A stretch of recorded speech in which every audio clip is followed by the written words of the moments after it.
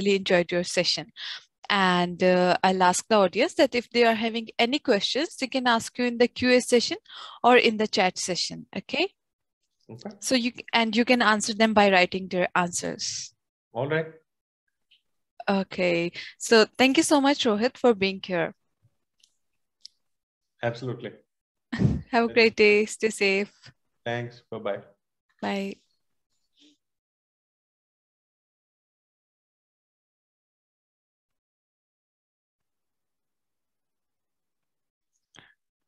Okay, so uh, ladies and gentlemen, our next presenter now is Raj Chaudhary, and he's a vice president, a global services group of American Express.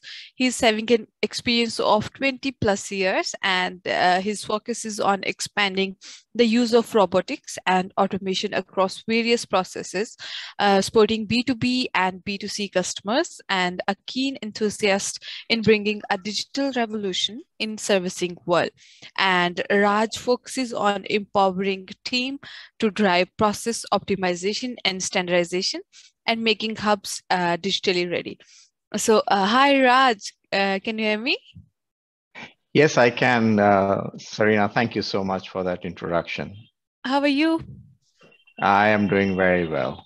Thank you so much for being here, and uh, uh, we are honored to have you as a keynote speaker. You uh, please share your screen with us. Yeah, thank you. Yeah, I, I hope you can see my screen, right? Yeah, I can see your yeah. Uh, screen now. Perfect. So Perfect. yes, it's perfectly working now. So you can start your presentation. Stage is all yours now. Good luck. Thank you. Thank you. Um, so uh, firstly, uh, thank you for organizing this, Rohit. Uh, good, interesting insights uh, on what happens when you set up a news news site. I'm, I'm sure I can learn some of that from you uh, since I've been always in a captive operations and you know in my experience. But uh, today we'll we'll I think take a page from what Rohit had talked about and talked about automation, uh, and with uh, you know which is the buzzword today, and we'll talk about how do we drive efficiency and automation uh, in an increasingly digitally enabled servicing that our customers experience today. So with that, you know, just very quickly, here is here is the agenda that we have. The four we talk about in our principles at Amex. What do we do? Uh, the basic thought process, some of the methodology that we use, and lastly, close with an update, uh, like like a process map of sorts, where we can where we show how do we go about, you know, transforming that methodology, the thought process into real action on the ground, right? uh, Serena did a much better job of introducing myself, so I will skip this page, but, but basically I'm based in Malaysia, um, have a global role, and uh, from a leadership model, it's, it's always, I think something that I always believe is less of me and more of me, where we think we went together as a team. But let's move on to the core of what we want to talk about today. So before we get to that, American Express, and I'm hoping many of you know who, who we are. But here is our vision, right? Our vision is to provide the world's best customer experience every day. And that vision changes, you know, uh, what the outcome of that vision keeps changing because the customer experience keeps changing from time to time. And as new products, new new tools come in place, sorry, if if you hear some background noise, you'll have to excuse me. Uh, but but but but that's that's you know that's what the Amex vision is about. And and within Amex, the Global Services Group or GSG, we have three principles that we talk about. It's easy, recognize, and solve. So how do we make it easy for our customers? How do we recognize our customers? And then finally, how do we solve our customer requests, right? that's where it is all about, right? What is a great customer ex- experience that it's easy for them to connect with us. We recognize them as the customers they are, but more importantly, we solve their, their requirements, their core needs, right? And that goes into what we put uh, there within our own philosophy of putting the customer first in everything that we do, right? Move, we'll move on to the to the next part of this. Is, so what is the best basic thought process when we talk about digital and we talk about customer experience? And sometimes it may look that it's in parallel or it's in the opposite directions, right? Sometimes we want to become so efficient that we forget the customer in the middle, or sometimes we are so customer focused that we forget efficiency. So how do we get to that, that sweet spot? Now, the first thing is to redefine customer journeys in a technology-led world, right? What does the customer experience today and especially for companies like Amex, who are part of the banking sector, which is highly regulated, the world is tougher sometimes. The regulators have a different opinion. The customer has a different opinion. The regulator wants five documents. The customer says, why do I need to give any? So somewhere we'll have to find a way where we bring that together. And that brings to the next point is talk about an universal system. Where do we get a 360 degree view of the customer? How do we know when the customer interacts with us? How many times have they interacted? What have they shared with us? And this sometimes gives unique nuggets when we are talking about customer journeys, because it does help us understand what is the experience that a customer has, not just when they call into the call center, but across any touch point that they have with the organization, right? And then the third point, if you see, talks about defining, right, who does what with ease, speed, and complexity. And what I mean out there with this comment being is to say, traditionally we've seen, okay, the call center is supposed to do this, the back office is supposed to do this, the credit teams are supposed to do something.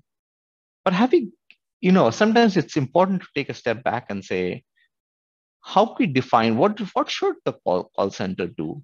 Why does the back office do a particular case? Can it be done upfront? Can the call center guy do it? Can we empower them to, to do that work, right? But the underlying point is, can it be done easily and can it be done quickly? I can empower a frontline rep to do something, but if the frontline rep says, I now spend 15 minutes on the call with this person, that may not be the best way to do it. So I think it's finding that balance is where it is very important. Uh, and then understanding complexity.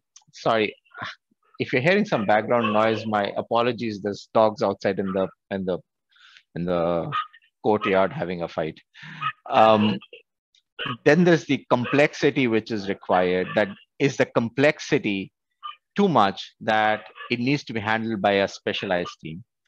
And the last line is this: is to communicate, communicate, communicate. And I think with anything that we do, uh, communication is key internally and externally to kind of drive home that message. Why do we do what we do, right? So, in conclusion, we need to know how to get it right for our customers, right? And you put the customer in the middle of everything that we're doing, and then that's that's how we should think about even automation uh, and even providing digital options for our customers. So within Amex, what we've done is we've kind of divided this in three blocks, right? And uh, we've said that once we take a process, right, and we do some scoring to that process, right, and we've defined that as a simple A1, A2, A3, right? So what is an A1 process? We've, we've we said if the process is simple and can be done end to end without any human interaction or any, any human intervention, that is an A1 process. An example of that may be um, I want to redeem my membership reward points. Now, for that, the person should not need to interact with somebody. Our websites, our options should be good enough, and the process end to end, not just the upfront process on the website, the end to end process should be automated that it needs no real human intervention to solve for that. So that's like an A1 process that we said, right? What's the A2? What we said is it has a medium score. And what it does is that it talks about what are the different processes we have, where we may do a little bit upfront, but then the balance processing of that is done by by the by uh, the bot. Just just give me one minute if you guys. I just need to close a window if you don't mind, please. Just give me one second.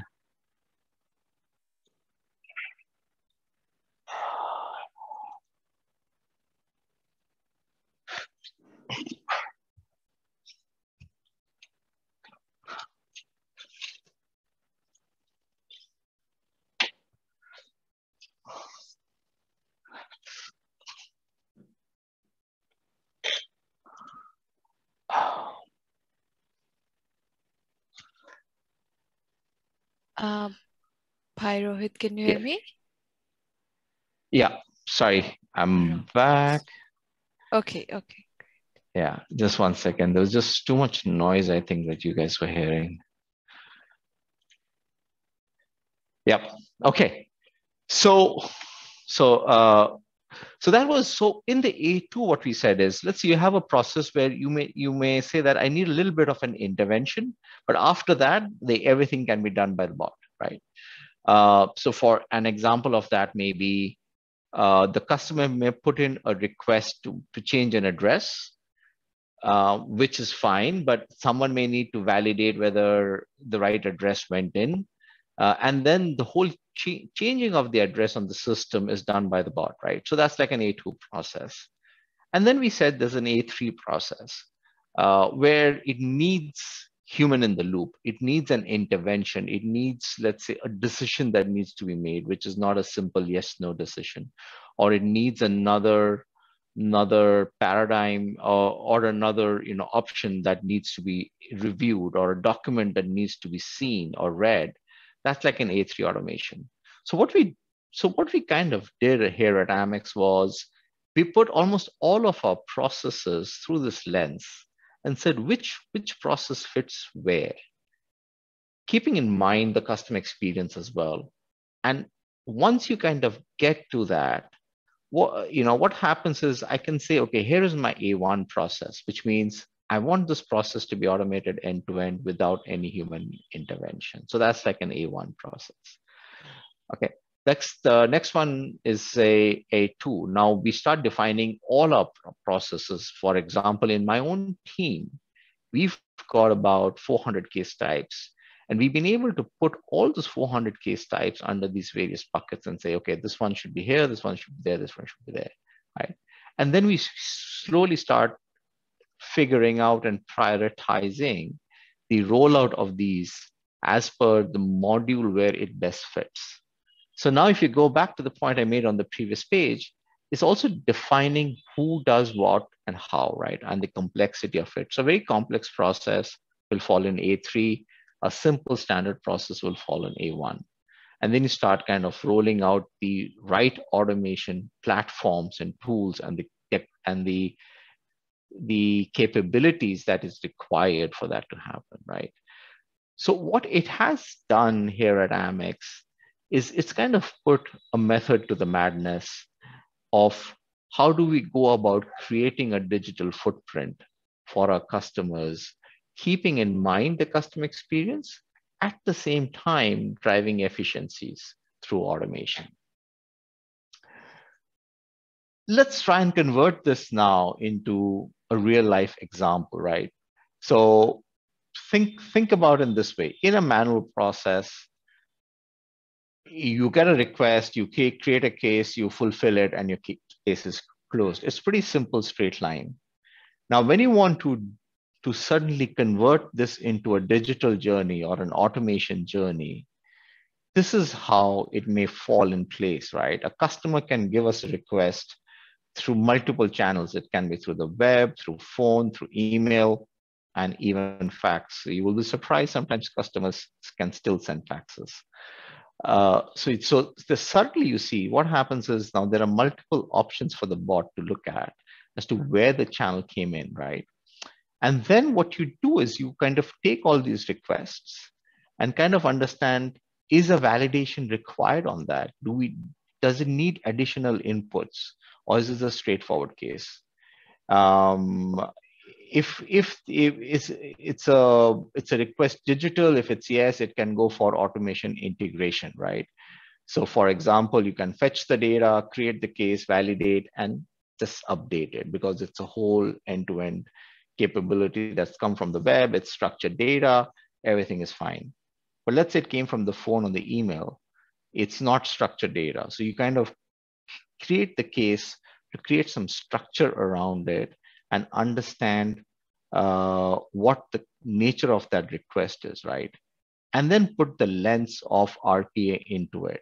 So for example, can I leverage RPA with intelligent document review? So today we have capability that can read, you can leverage machine learning, uh, or and then simply you know um, uh, get that work done. Or again, it's a more simpler of those case types like an A2 automation that I spoke about, and just put the bot into it and close the case end to end.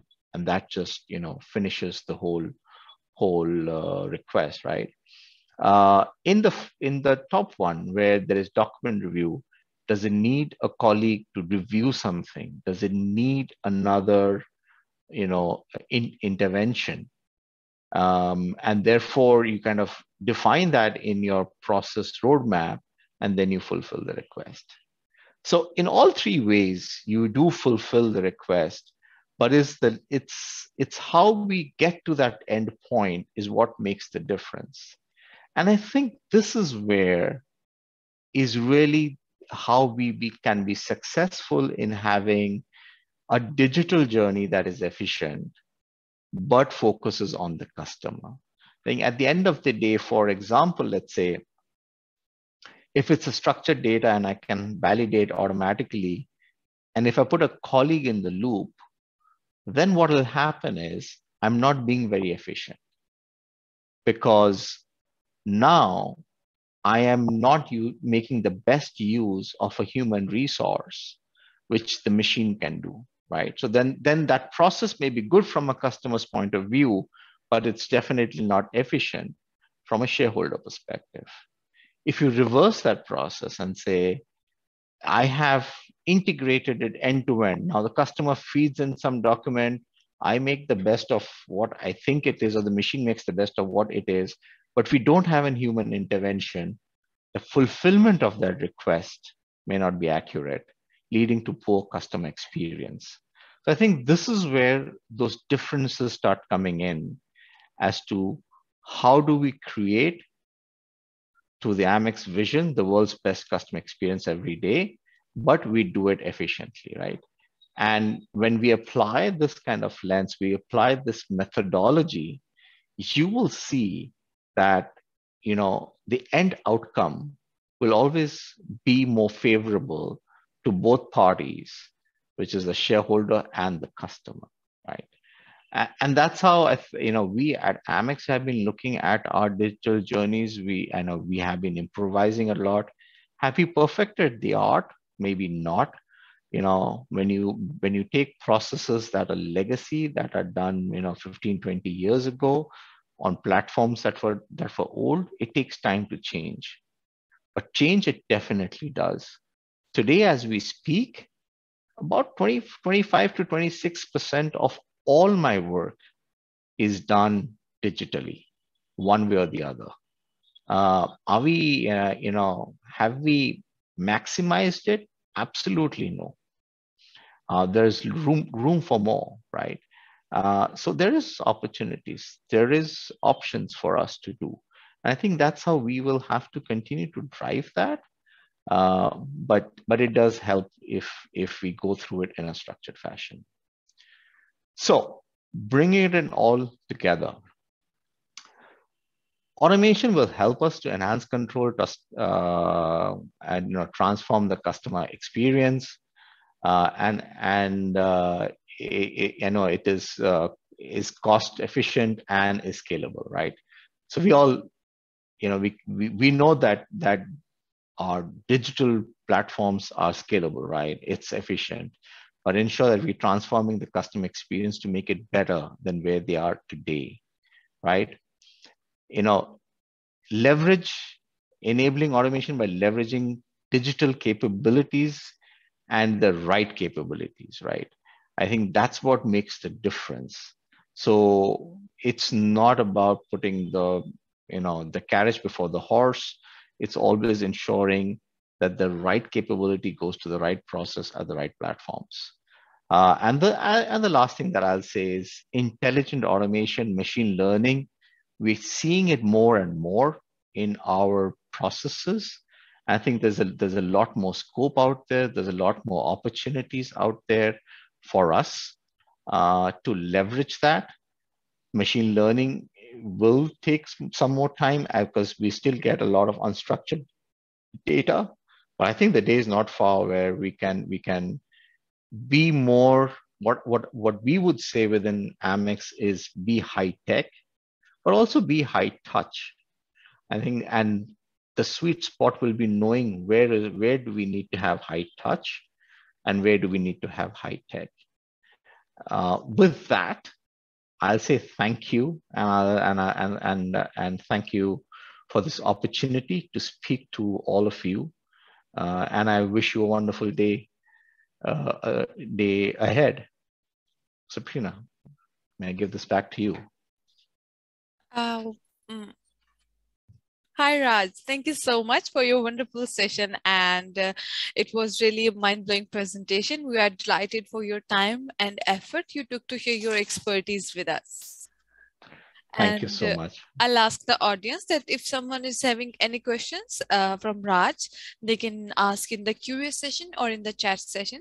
And Raj, you can answer their questions by writing their answers. Okay. Sure. Thank you so much. Have a great day. Thank you.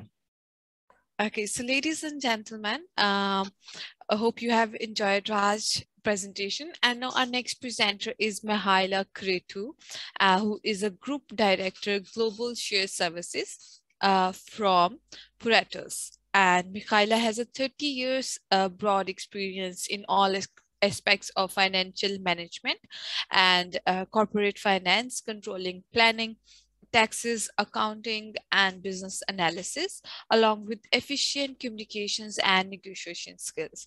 So uh, let's welcome Mihaela. Hi, Mihaela, can you hear me?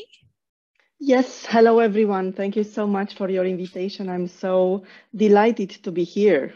Thank you. Thank you so much. And uh, uh, Mihaela, uh, you can start your presentation yes. by sharing yes. your screen. Yeah, I can see you now. Fantastic, fantastic. Thank you so much. Thank I'll you so much share... for being here. Thank you. I will share right away right away my screen. So uh, let me know if everything is all right. Yeah, I can see it properly. So uh, okay, fantastic. Good luck. Stage is all yours now. Thank you very much. Hello, everyone. Uh, welcome and uh, thank you for having me uh, in this uh, forum, uh, sharing some experience from um, our company and the project which I lead uh, in our company. It's called Global Shared Service. And what I'm talking about today, it's about global, global process standardization. Uh, well, it's a very interesting topic. Uh, it's always uh, easier in theory than in practice. So maybe just a little bit about the company I work for. So it's called Puratos. It's a Belgium company uh, with um, a turnover of 2 billions. Uh, we have 100 years already experience uh, being an innovative partner uh, in the industry of bakery, patisserie, and chocolate, chocolate. So quite a sweet industry uh, we work in. We are present in more uh, than uh, 68 countries, 100 different locations, more than 10,000, almost 11,000 employees by now. And coming to our topic, we have created a global shared service in uh, 2019 after two years of a fit gap um, analysis what's the most suitable for our organization. Finally we went live uh, mid 2019 now talking about what we have done during those uh, those uh, two years two years and a half already. So we have centralized more than 90% of finance processes in all the three towers, P2P, uh, accounts payable, R2A, recording and uh, uh, reporting, and C2C, credit to control, for almost 60% of entire uh, group, which is quite an achievement, I would say, in uh, two years. This one, it's in a form of a BPO. We have also centralized in-house um, actual costing because that's a strategic process for us. So we decided that we're gonna centralize it with an expertise team to execute those tasks. Uh, we have also uh, migrated already in two years a bit into a GBS, Global Business Services, rather than shared services. Uh, in the sense of expanding the, the subject and the scope uh, within uh, our project GSS. Um, going now, we are going to launch a catalog uh, in procurement. Uh, we are going to, we already launched some help synergies for head, headquarters treasury so not just finance part. And we are also uh, very advanced on um, starting uh, a POC into um, global payroll, uh, global time and attend attendance uh, software, and so on and so forth. So what is the main strategic objective or uh, of our GSS project is to help the organization in the areas where we need to perform various activities in a too manual way, too much administration, redundant, repetitive jobs. So this is what we have achieved so far. Uh, I would say quite an intensive journey, but a fantastic journey as well. We have seen huge opportunities for improvement we have improved a lot and I'm here to share with you also from our experience some pragmatic uh, uh, areas and maybe helping you with some ideas. Now, before that, I was preparing an, uh, a poll, um, and if it's uh, possible, our colleagues from uh, Platinum to help um, sharing the poll and the results. Uh, once the results are ready, please let me know. I will stop with the presentation and we can uh, look on it. So the poll is about how is it in your organization, this part of um, um, standardization? And I'm curious to find out where do you find yourself in your shared service or in your uh, particular department you or BU you belong to, where do you find yourself uh, in terms of standardization? It's always interesting to find from other people uh, how far they are on this um, journey. Okay, so uh, should I post your first question, Mihaela? Um, in the form of a poll, if you build the poll, if not, I can continue with the slides. That's okay. Yeah, I have. Uh, we have okay. uh, your yes, it's questions one on the poll. poll. Yes, it's one okay, question. Okay. Yes, please. Okay.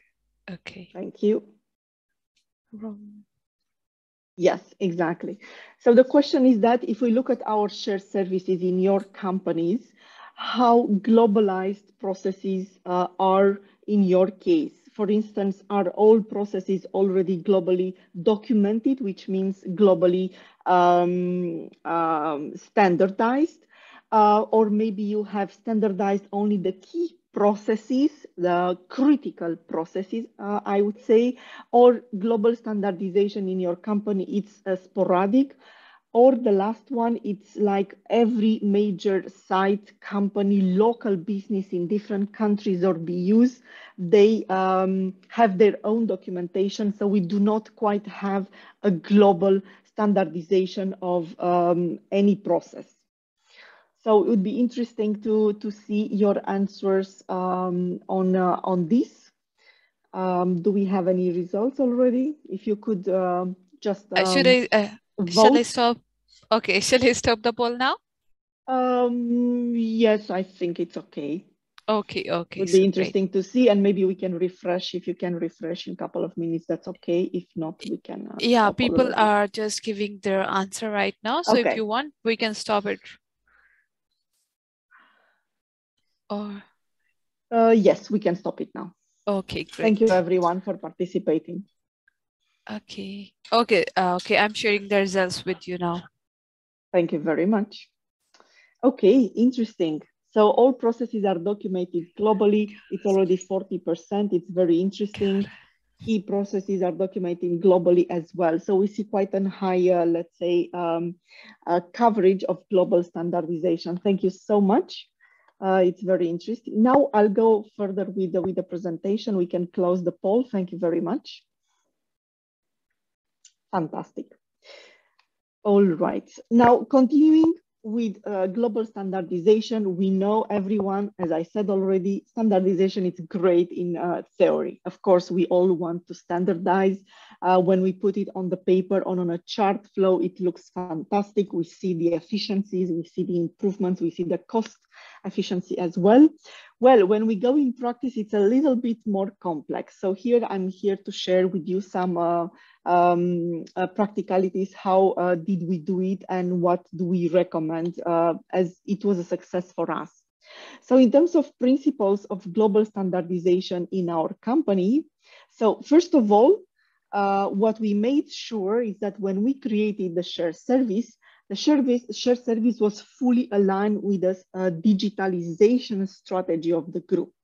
Here, the interesting part about shared services is that actually, if we go further also to the GBS, um, the theory says it's kind of auto-destructive model in the sense that in a shared service, the idea is that we have to standardize and automate as much as possible until those jobs are not needed. Of course, in practice, that's not the way it goes in the sense that we take more and more jobs, more and more scope within shared service. Nevertheless, the idea is interesting and talking about strategic approach, uh, indeed, we have to keep in mind the automation, like the previous uh, speaker also mentioned about, to make sure that uh, any shared service, any global business service is efficient. So what we did in our company, first of all, we aligned the strategy of the GSS with the group strategy and the group strategy digitalization. Of course, like any company today, uh, there is a digitalization strategy. So we aligned together to make sure we go in the same direction. Now, when we talk about digitalization, I just want to share with you a couple of um, um, aspects which we found them interesting. Usually we look to a uh, return of investment of digitalization before engaging. However, focusing on the cost saving only can be short-sighted according to our experience. And why is that? It's because let's not underestimate that we also, via digitalization, free up time for the business to be more crea creative and to innovate more in their job rather than execute redundant and manual tasks every day. So we can't put a figure on that, but it's very, very important, which leads to the next, next very important aspect. It's the fact that redundant and repetitive jobs, manual jobs, they do not attract talent management from the market. So also digitalizing as much as possible the uh, all the redundant and manual tasks. Um, uh, it's very important that we also attract the generation uh, X, uh, Y, Z, uh, or the screen generation as they are called. So that's the let's say, um, long-term, medium, long-term objective of uh, our shared service. It's to digitalize as much as possible and that to be done in line with our group digitalization uh, strategy. Then, of course, the second step when we go into global standardization, once we do have the objective, for us, the second scope, it was how do we communicate? We believe that communication is an extremely important parameter of such a process because it's about change. Um, it's about changing a process and changing the way it's done on the local business, uh, executing it in a different way. Um, and this means that we have to get the win-win from the local business and to explain what are the uh, advantages. So what we did firstly, um, before um, jumping into a standard, into a global standardization, we implemented a communication plan with full support from the executive. So C-suite, it should be fully aligned with you into globalizing processes. Of course, not in very detail and uh, technical details. Nevertheless, presenting the advantages and having the full support for the executives. The second thing we uh, made or in parallel was creating a communication toolkit. So actually we uh, issued several types of documents, communication documents for various stakeholders, uh, starting from executives, uh, documents for local departments. For instance, if we standardize processes in finance area, obviously we have a certain communication which is more technical towards finance departments. Uh, then we had a communication helping them to communicate further, further within the local organization, which is less finance technical, but it explains what will happen in the next month that we will change some of the processes. We had in the toolkit communication documents for the unions. Sometimes you need to keep uh, them updated for external stakeholders and so on. So that was extremely helpful because we helped local business in providing uh, a structural communication to entire local team, which respects uh, the strategy and the story of the group. And then we are sure that everybody is in the line um, with, uh, with communication strategy. Then we also looked on the change management. There are standardizations which they involve change management.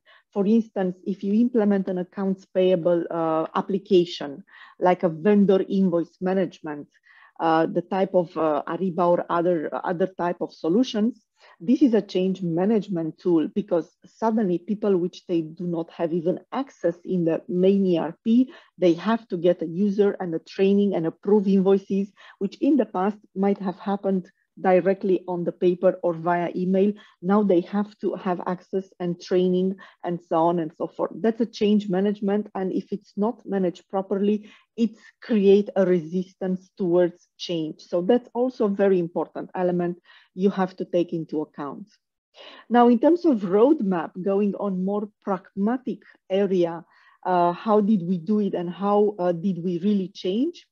Uh, our first step to centralize processes it was to consolidate them into a BPO, namely transferring those processes from local team to a centralized team somewhere in the world executing those processes.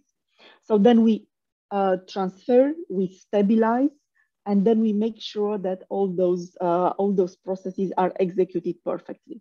This is on the principle of lift and shift, and that was the most suitable for our company to make sure that we make it in a smooth way. So that was uh, when we created also Center of Excellence, we uh, followed the same methodology as well. Uh, like that, we have been able to see the full end-to-end -end process. We had visibility, we could capture as well all the compliance parameters and as well business particularities, obviously, which are extremely important. In the, in the same time, we noticed areas which they will be able to be standardized very quickly. We call them low, uh, low hanging fruits. Um, and one general conclusion we have noted from those transfer, it was that our software architecture was uh, not properly used. Uh, there is a tendency of people trusting more uh, Excels rather than the systems because they find quickly the information or for other reasons. So immediately we spot up, uh, spot, up, uh, spot areas where we could enable better features uh, in our ERP. We work in SAP or in other tools like the vendor invoice management, mobile expense, and so on. So that were two important elements from centralizing uh, those processes. Then after centralizing, we of course stabilize. That's, uh, that's the next uh, uh sub-process step. But the most important part, it's the second part, it's transforming the processes. Once we centralize them, we have full, full visibility. We see exactly uh, all the areas where we have pain points. We see exactly where there are big inefficiencies within the end-to-end -end process. So that enable us to come with a transformation program. In our case, transformation program, it's um, based on two pillars. So first one, it's process simplification and standardization. That's very important. And here we apply all the communication and change management parameters because we always have to go back to the local business and to explain if we change a certain process and we execute it in a different way, what are the added values, what are the win-wins, and how are we going to do it? And the second uh, pillar of executing the transformation in our case, it's obviously automation, because that's the ultimate goal uh, nowadays of any shared service or GBS. It's actually once a process is standardized, it can be easily automated. So we have already implemented for the standardized processes a lots of um, RPAs, um, robotic process automations, bots. We have web applications. Uh, we have all kinds of features which now they help us to execute much faster a process which has been already standardized. So that's also very important. We, uh, in terms of strategy, how do we have it uh, in mind for the next uh, steps? So if we put together process discovery together with implementations, these are elements which helps any uh, shared service or GBS de develop an ideal structure to scale up entire organization. Now, if we go to the process simplification, uh, how did we do it? Maybe more uh, pragmatic approach. So first of all, what we did uh, within our project uh, on GSS, we have taken the control entirely of implementation of um, various applications for that finance area. So if we talk about finance area, which has been centralized, we made sure that we continued the group uh, standardization by deploying uh, applications such as vendor invoice management application, travel and, and entertainment applications, uh, activating uh, SAP features, which is our base uh, ERP. Um, before GSS, it was a certain planning, but sometimes local business, they had different priorities. Within GSS, we made a framework over three years uh, we agreed with the countries and with local business when it will be the time framework for them to absorb those implementations, which are extremely important for standardization. We cannot talk about standardizing uh, process, uh, invoice processing if we do not have an application, because then they will remain on paper or emails, and then we do not have an automatic uh, approval flow. Uh, we do not have a follow-up uh, in an automatic way, and so on and so forth. So that was one of the first important elements we have done. We have uh, taken the ownership of those deployments to make absolutely sure that we go uh, into global standardization for those processes uh, with a certain speed and considering, as I said earlier, change management uh, as well. Um, I talked already about change management. Um, examples here are like, for instance, we implement um, uh, no PO, no pay process, which means that if we don't have the number of invoice on a PO, that P, uh, invoice cannot be processed and it will be rejected back to the vendor. This is a big change management um, uh, on a process if we apply that because of course, we have to give time to the vendors. We have to send communications. We have to give some months. We have to give a deadline by, uh, by when do we still accept the current process.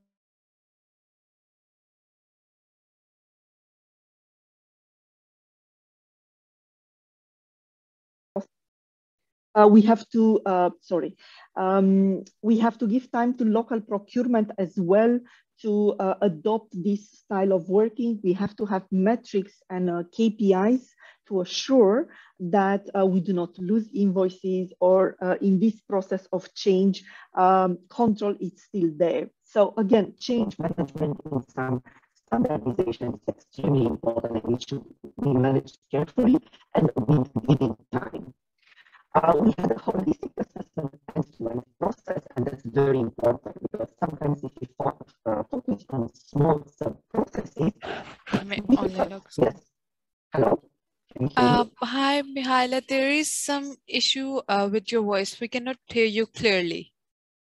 It's just, oh. it just happened right now. Is it okay right now?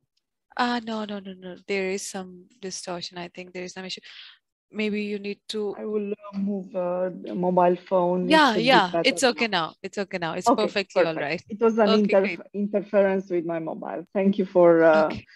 for uh, noting me. So um coming back to the, thank you very much. So coming back to continuing with pragmatic steps um, um, the second part it was holistic assessment on end-to-end -end process um, because we notice that when we look on the sub processes, sometimes we lose the big picture and we might develop standardization just for a small part without seeing uh, the entire view of the end-to-end -end process. So this is another learning we have taken from this journey that uh, we always have to look uh, end-to-end process. Um, and even if there is a standardization to be made, for instance, in finance, we always have to go back to uh, beginning of the process where it starts and um, uh, look on the process flow, which are the stakeholders which are going to be involved or impacted, and to make sure we involve them in different stages, at least to be aware of. Um, the way we have standardized processes, it's by looking on best practices. Um, there is no solution all fits uh, solution fits all because in this case, of course, each business, if it, even if it's the same industry, obviously um, there are business particularities, different channels, different type of customers, different culture, different countries, and so on and so forth. On top of it, it comes the regulatory compliance. Um, so therefore, uh, we had to make sure that those standard solutions are cap capturing all those aspects as well. So best practices are the ones which are tested firstly, then implemented, and obviously we will have to have key measures in place in order to uh, control and make sure that um, everything uh, is, uh, is going as planned and we do not overlook any controls.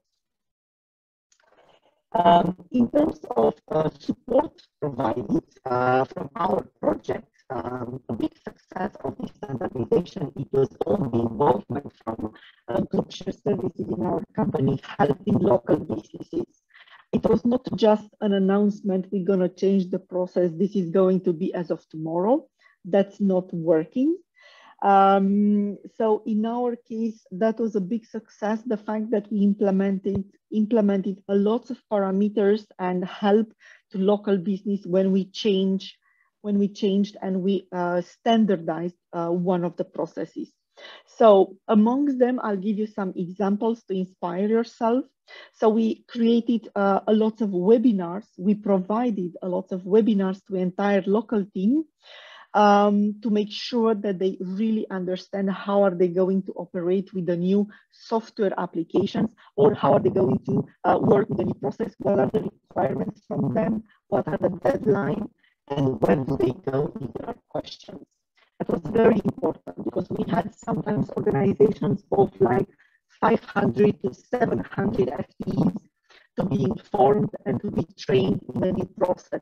If we talk about processes like traveling and entertainment standardization, when they have to use a new app, a new tool, new rules, obviously we have to reach to each single of uh, uh, our colleagues to explain the process and to give chances for questions. So this is what we did and it, uh, it helped a lot as well in uh, implementing uh, softwares like vendor invoice management. As well, uh, we collected all the users. Uh, we um, organized two waves of trainings at the beginning showing um, um, the process and the tool and then letting them work for a couple of weeks. And then after two, three weeks, we organized another round of webinar to make sure that uh, they have the chance to pose all the questions, but also for ourselves to understand what are the challenges from their side and maybe we need to develop some other um, um documentation or other uh, parameters too. Uh, the second part, which helped a lot, we also creating a uh, living documentation online uh, library for the new standardized processes. So besides the webinar, they also have uh, procedures for documentation, which is very dynamic. Every time we learn about a new situation or there are questions uh, we uh, maybe haven't foreseen uh, in a Q&A, we updated them in those living documentation. That's also very important.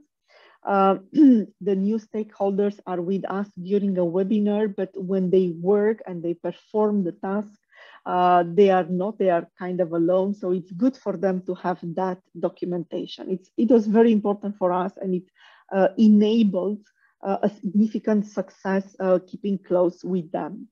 In some cases, we even went into creating short videos, maximum three minutes or one minute, uh, on the principle how to do. Um, when we go into uh, applications for uh, process invoicing, There are stakeholders which, for instance, they have to solve in the system situations like uh, different purchase prices, purchase order versus invoice, different quantities, different currencies. So those are details uh, and situations which they do not appear all the time.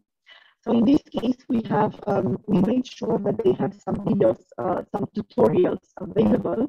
Um, if they have one or two type of situation like this a year, obviously uh, the knowledge might be lost and not that uh, fresh.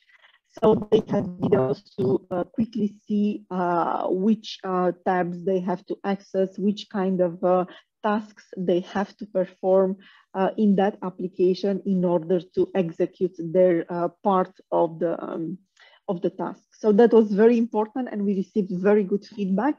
Uh, and we also deployed that. We created only once for the first deployment and then was very easy that every time we uh, went into standardizing the same process in a different uh, location, we have just shared those videos uh, which um, are very useful in English, everybody managed, so uh, was really helpful. Um, as I mentioned earlier, communication framework was also uh, very well received by the local businesses and local teams. Whenever we standardize a process, because they also have to manage the communication further on within their own organization. For instance, if we standardize a certain accounts process uh, in a business in one of our countries, uh, let's call it, uh, for instance, the Philippines, we work mostly with finance and procurement at the beginning. Uh, we settle the chart flow, the process we explain, then we train all the people, but nevertheless, local finance person and procurement will be the contact person for various questions as well. So this communication framework, it helped always. Also explaining the story, why do we do it?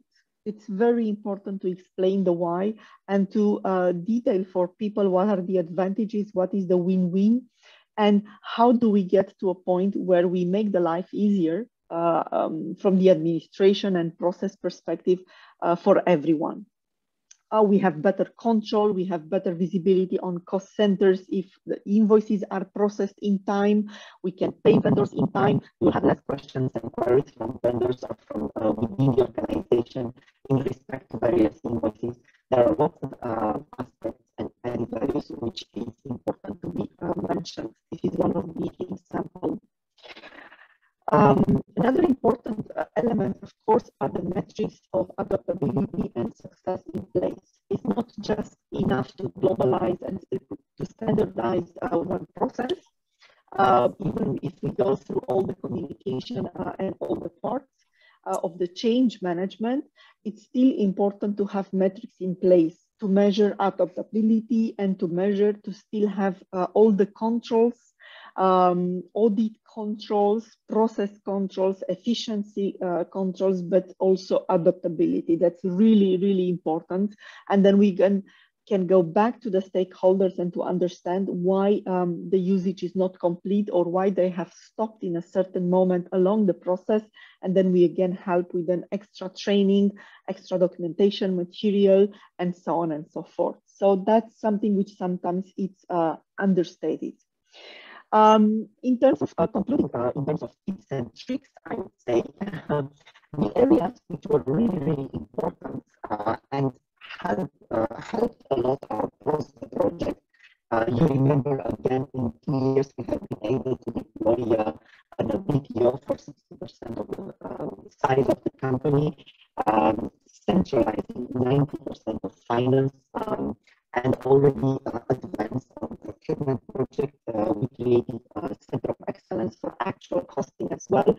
So uh, we believe that in two years, uh, two years and a half, uh, we achieved a lot. Some tips and tricks from this journey. And again, uh, global standardization is a journey. Um, the end it's far away because it's a dynamic environment and there is always something to be further standardized and automated. For us, important, as I said, it was creating the living documents online.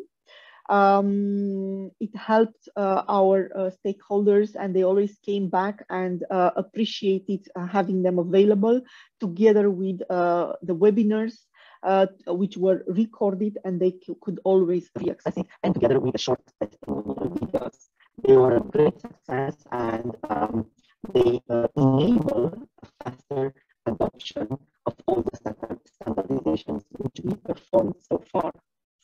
The second part, it was always explaining the why. Um, it's important to go from the as is um, process mapping. So the is, uh, when we discover the process in place, it's extremely important to make sure that we don't overlook any um, regulatory aspect or business specificity aspect. So the as is process was very thorough, understanding how today the process is executed and then enabling us to transferring to a standards um, as much as possible without um, a massive uh, jeopardize of the business or a massive change. So um, that was really, really important uh, going into an, a clear, uh, thorough, and uh, accurate as is process before going into a to be. Um, the third one uh, important for us was um, spending enough time in training the staff for the new processes. So everyone has to be trained. Uh, we have also trainings from top to down, uh, even for executives, where we have changed application applications, uh, or we have automated more in travel and entertainment. Um, we always aim for a buy-in from the local business of the new processes. We always aim for the win-win, explaining what are the advantages for this standardization um, showing the automation made uh, in other countries as well. Um, an important element for us was also enabling communication between uh, um, business or BUs or local businesses being already uh, on the standardized process, uh, enabling uh, meetings between, for instance, finance managers in a country where we centralize the processes, we automate them, and they already have seen the advantages. Uh, we enable this communication between these finance managers and the finance managers in the other uh, local businesses, countries, operations where we were about to deploy uh, a standardization, automation, centralization. So that was very important as well. They could talk uh, peers in between them, understand the metrics, the KPIs, the impact of the change, uh, which is uh, a, a significant change, um, that was really important for them to to um, assess whether what is what is uh, what is going to come. So uh, that uh, that would be from um, my side in terms of recommendations. I'm uh, I was really happy to share with you. I uh, hope you find them uh, pragmatic. And if you have any questions, I'm uh, at your disposals, or if you can drop later on questions to the organizer, I would be more than happy uh, to share uh, the answers or other details. You can uh, find me as well on the LinkedIn. Uh, I'm more than glad to keep in touch.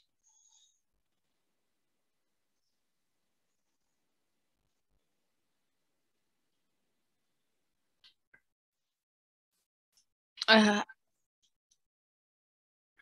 Hi, Mihaela. Thank you so much Hello. for your perceptive presentation. And Thank you for having really me wonderful. here.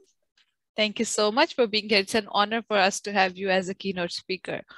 And I hope everyone have enjoyed your presentation. And I'll ask the audience that if someone is having any questions, they can ask you in the chat or in the QA session. Okay. And uh, Mihaela, I have some questions for you as well. Uh, how can we manage the changes in this global village? Um, thank you. It's a very good Oh, I'm so sorry, Mihaela, uh, but your uh, voice is breaking. Uh, is it better now? Yeah, yeah, it's okay. now. Okay, thank you. Thank you. It's a technology nowadays. Uh, yes, it's a very good question, and we ask uh, all of us ourselves this question probably every day. How do we manage the, the change in such an environment?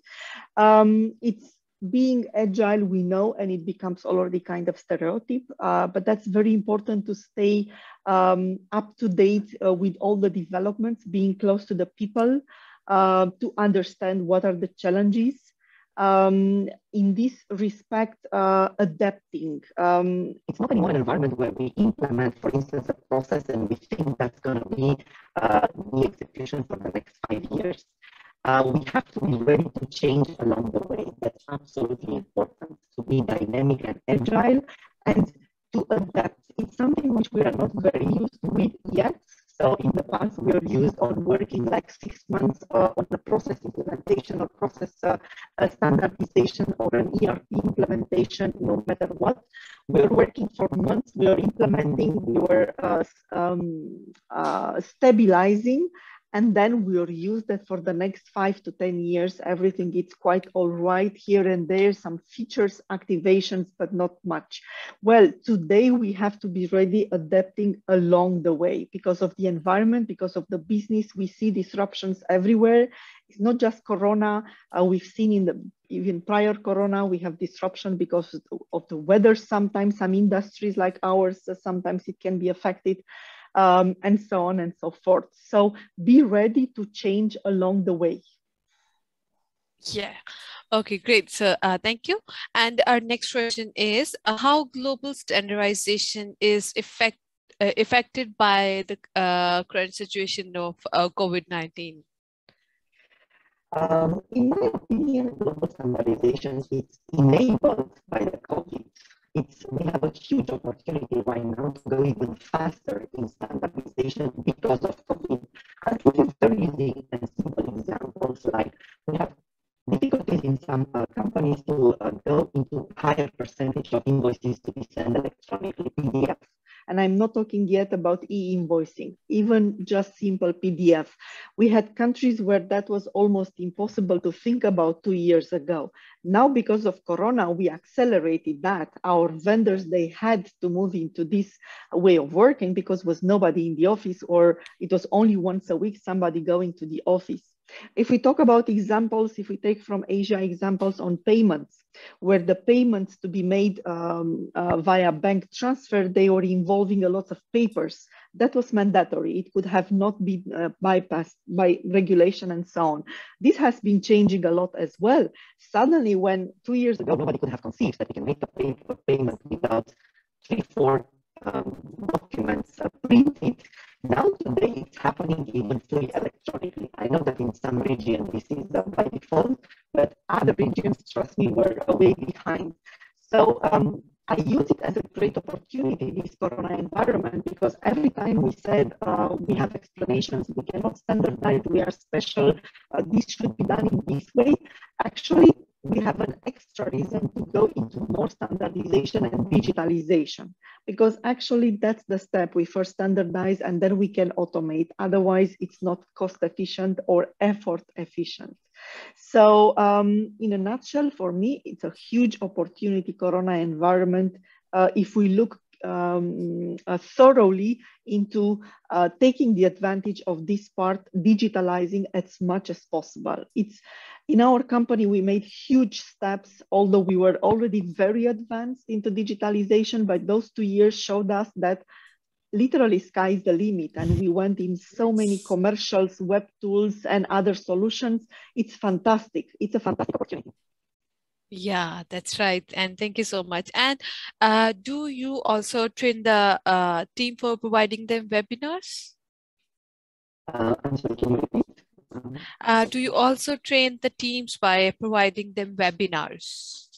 Yes, yes, absolutely. So we train the team, the teams, sorry, via um, various um, uh, leverages uh, pillars. So we have webinars, we have videos, as I said, we uh, recorded short videos, like max three minutes, not more than that.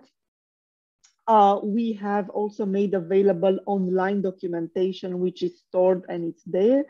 However, the most important um, actions which they really paid off and enable a success for us, it was the webinars and the videos and the close communication with the team on the why. It's very important to explain to our teams why do we do such a change? What will be the win-win? What will be the added value for the entire company and for the local company? It's um, like maybe you know Simon Sinek. He's a while uh, quite famous in this area. Uh, so start with the why and then you will have people on board uh. Okay, great. So thank you so much. And what are pros and cons of documentation of uh, key processes, uh, but not all processes? Documentation of key processes, I would interpret it uh, in terms of globalization of key processes. Depends on the industry. It's very important. Um, for instance, if you look to uh, um, companies in Japan, if you look at Toyota, for instance, they started global standardization by taking the key processes. They call them critical processes. So they haven't started with absolutely everything. They defined a list of critical processes, and for those ones, they have applied a global standardization. Um, the pros are that there is a standardization which uh, um, govern the risk, so it's very good that we do that. Um, cons uh, depends from industry to industry and what it's left out. If we talk about the yes. finance area, a biggest part of the finance area can be standardized, procurement as well. If we go into marketing, for instance, globalization here depends on the industry. So there, of course, it's better to apply on key processes standardization because that's a bit uh, linked to type of customers in the local business and so on. So um, it's good We will never have a 100% total global standardization uh, because, of course, there are regulatories and there are other uh, business uh, parameters. Um, there are it's a very good approach as well. Maybe the first step before going into a global standardization. We go first for key processes. Okay, great. So thank you so much, Mihaela, for answering the questions. And it was really very informative session. And uh, I really enjoyed your presentation. And thank you thank so you much so for much. being here. And we are looking forward to work again with you. Likewise. And thank you so much for having me. We'll thank you so touch. much. Thank you. Stay safe. Bye-bye. Bye. Bye-bye.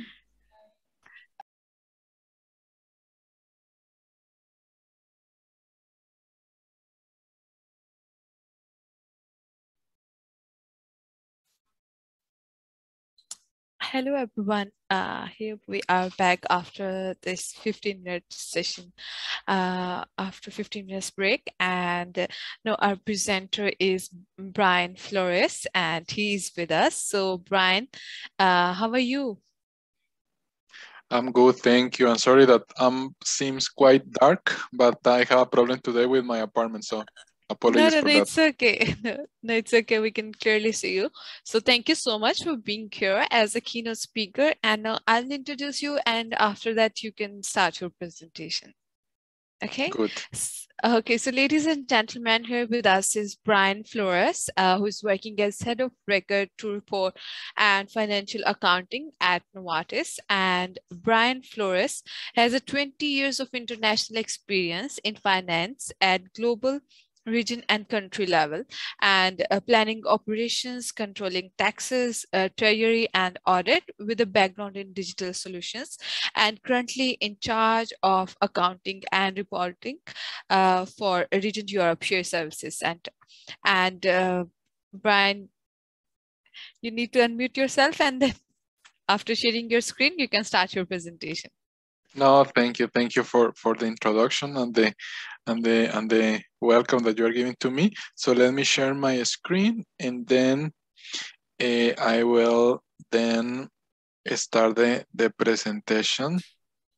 Okay. So good. Good. So I will project. Good.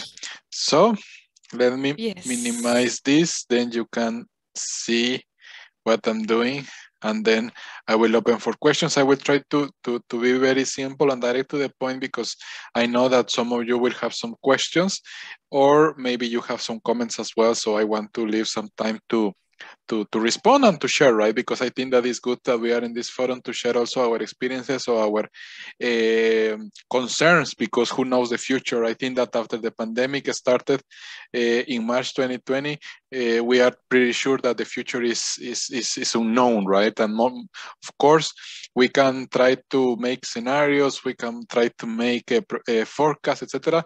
But at the end of the day, who knows, right? And then uh, this is something that we can share, and maybe we can also learn how the others are dealing with the topic. So, the the topic is um, the the the resignation, right? In, in the, but it is a topic in the in the U, in the US or or for all the shared service center specifically, right? So let me give you some facts because maybe some of you are quite aware, others maybe not 100%. So let me give you some facts and to give you some context. So let's define what is this about. This is a, a trend, right? That uh, is principle is, is in principle in the US. Now in Europe, we also have some uh, parts of it. For, for example, I'm based in Barcelona. We are seeing a, similar trend here.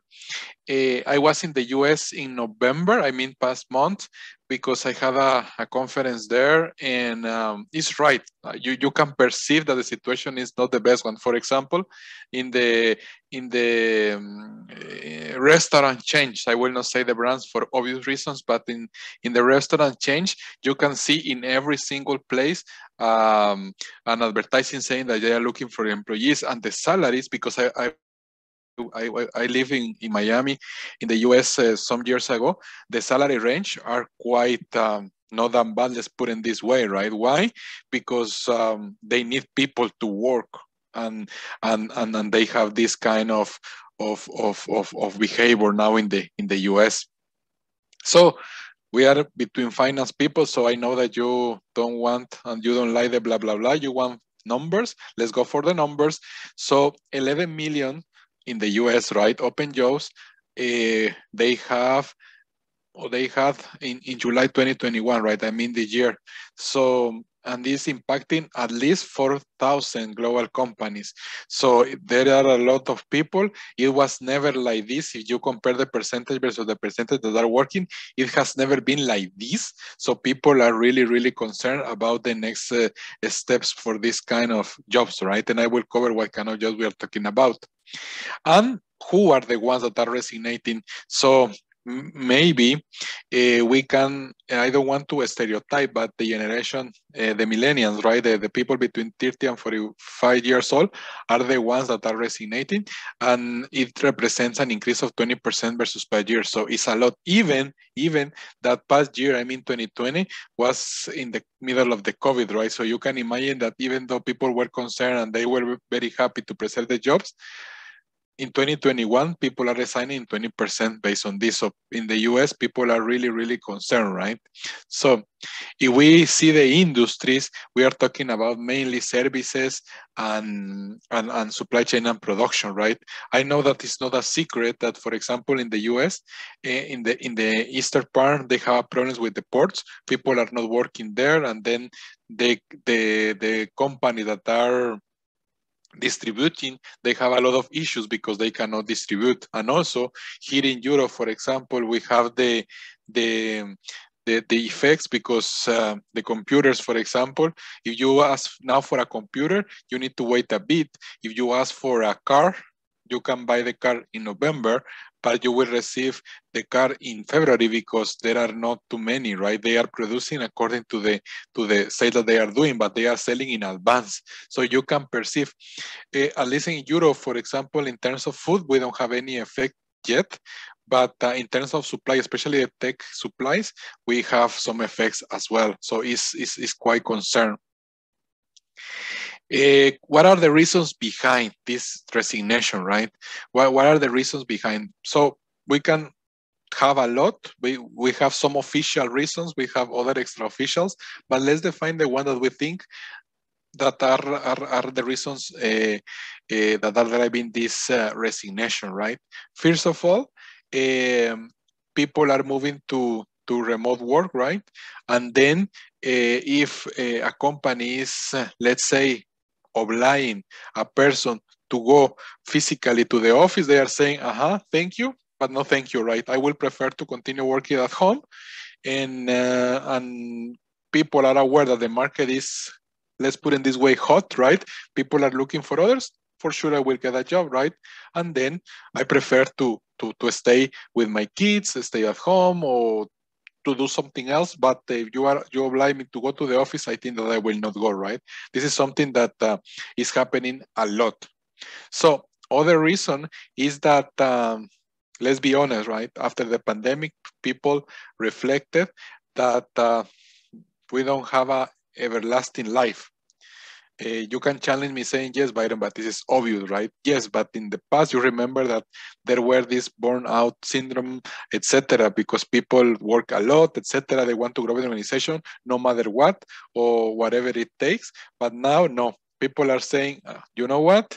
I want to work but um, i want to to to to to work for living not living for work. So if you don't give me uh, this flexibility, or if I am working a lot or in a very tough environment, I will go right. And this is something that people reflected after the pandemic. And also, let's be honest, right? It, uh, it's sad to say, but uh, year to date, you know that uh, almost five uh, million people already died by by the COVID, right? And also, I think that um, as a matter of example, I know that some of of, of I, I don't know, but I'm sure that uh, some of us we have people that die by covid.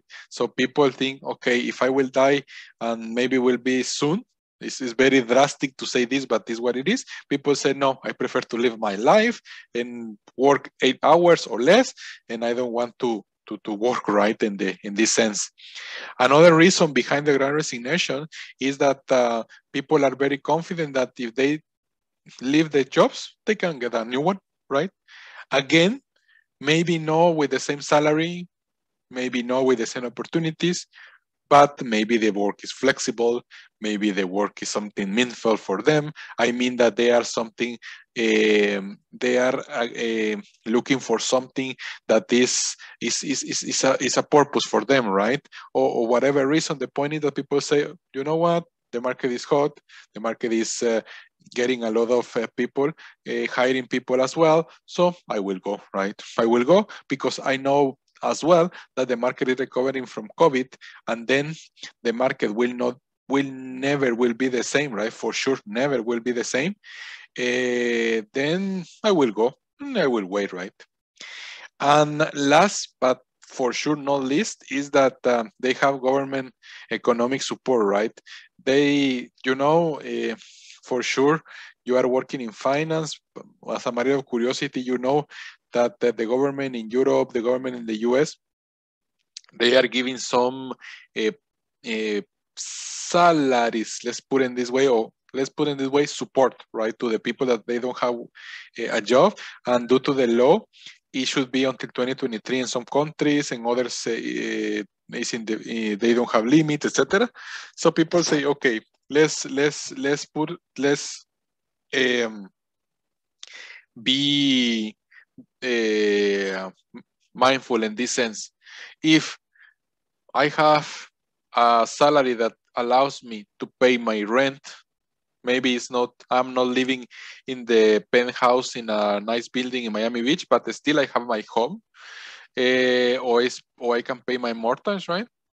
Um, I can be with my kids what is the point to go out and work and put uh, or to jeopardize my uh, my life uh, with the COVID situation and etc. What is the point? And then people prefer to stay at home, receiving the government support, and then they will not go to work outside the, the their homes. Right? This is something that is happening. And now as, as you are hearing these reasons behind, I want that you relate to the situation that we are living in the shared service centers or in the business um, process uh, that we are outsourcing, right? This is the same. I know that some of you are working with the US, some others are working with Europe, or some others are working for Europe, as is in my case, right? I'm working for Europe. And let me tell you that we are also um, Eh, having this experience for the great resignation, right, is something that is is is is, is there.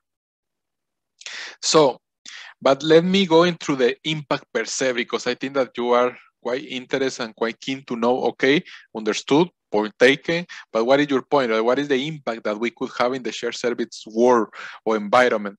First of all, there is um, a survey from McKinsey, you know McKinsey, the consultancy company, and they reported that 40% people are thinking to leave their jobs in the next uh, three to six months from now, right?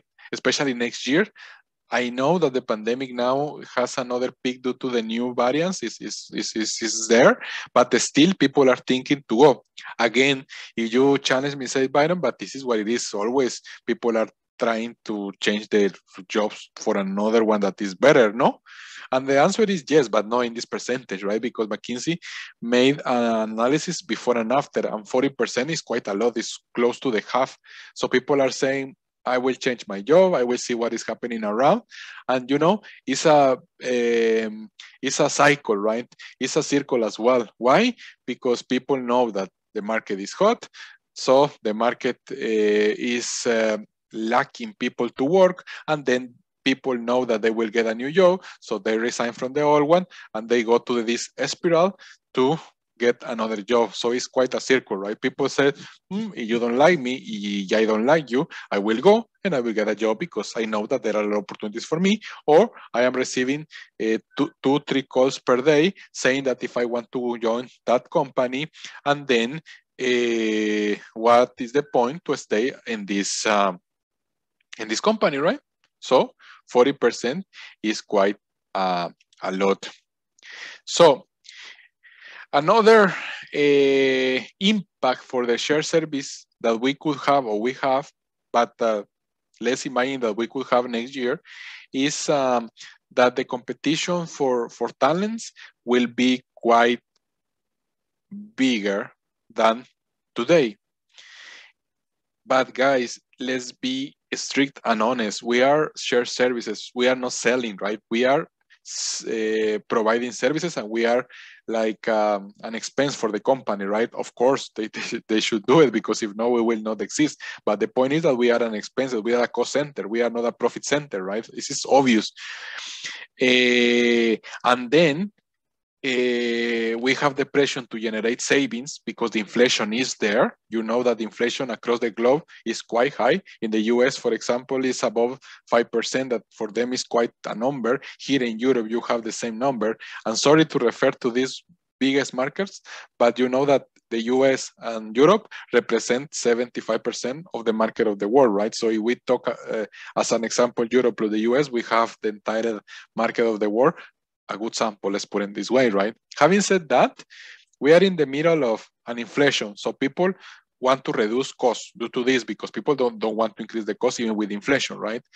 We are a cost center, we are not a profit center. And then on top of that, we will have or we have a high competition for talent that we had in, in the past, right? This is one important thing, right? Uh, let me give you one example. Let's say that I have a key position in my shared service center, a team leader, a, a manager, or even a, a, head or a director, and I need to attract him or attract her. And um, I need to offer, of course, right, all the benefits that we could offer as a matter of purpose, but I need to offer a good salary as well because you know it's quite quite uh, important. But then uh, this person can say, aha, uh-huh, but I want this salary to move because I received a call yesterday from other companies similar to yours, offer me this. Yours is for me most like more attractive, uh, but you know the salary is important. So if you don't give me this package, I cannot go with you. I will go the other, right? But in our share service mode, we have the pressure to decrease the, the cost and then guys, what is the point, right? I need to hire people. There are a lot of competition there, but still I have an inflation rate. And you know by experience that if uh, for our customers, internal or external, we at least mention the word cost increase, they will challenge us a lot or they will take measures to maintain at least the shared service cost, right? So this is quite important, um, colleagues. So The other thing that is impacting the shared service, you know, we are we typically we are deployed across a, uh, a lot of um, people, right? We have, for example, in our shared service center in Prague, I am working in Prague for Region Europe for Novartis. We have uh, uh, almost 2,000 people, so there are a lot, right? And then we need to create a team spirit, but if we need to be hybrid in terms of flexibility that people can go or not to the office, I know that with the platforms as we are having now is possible, but you know that it's never perfect, right? It's better to be face to face.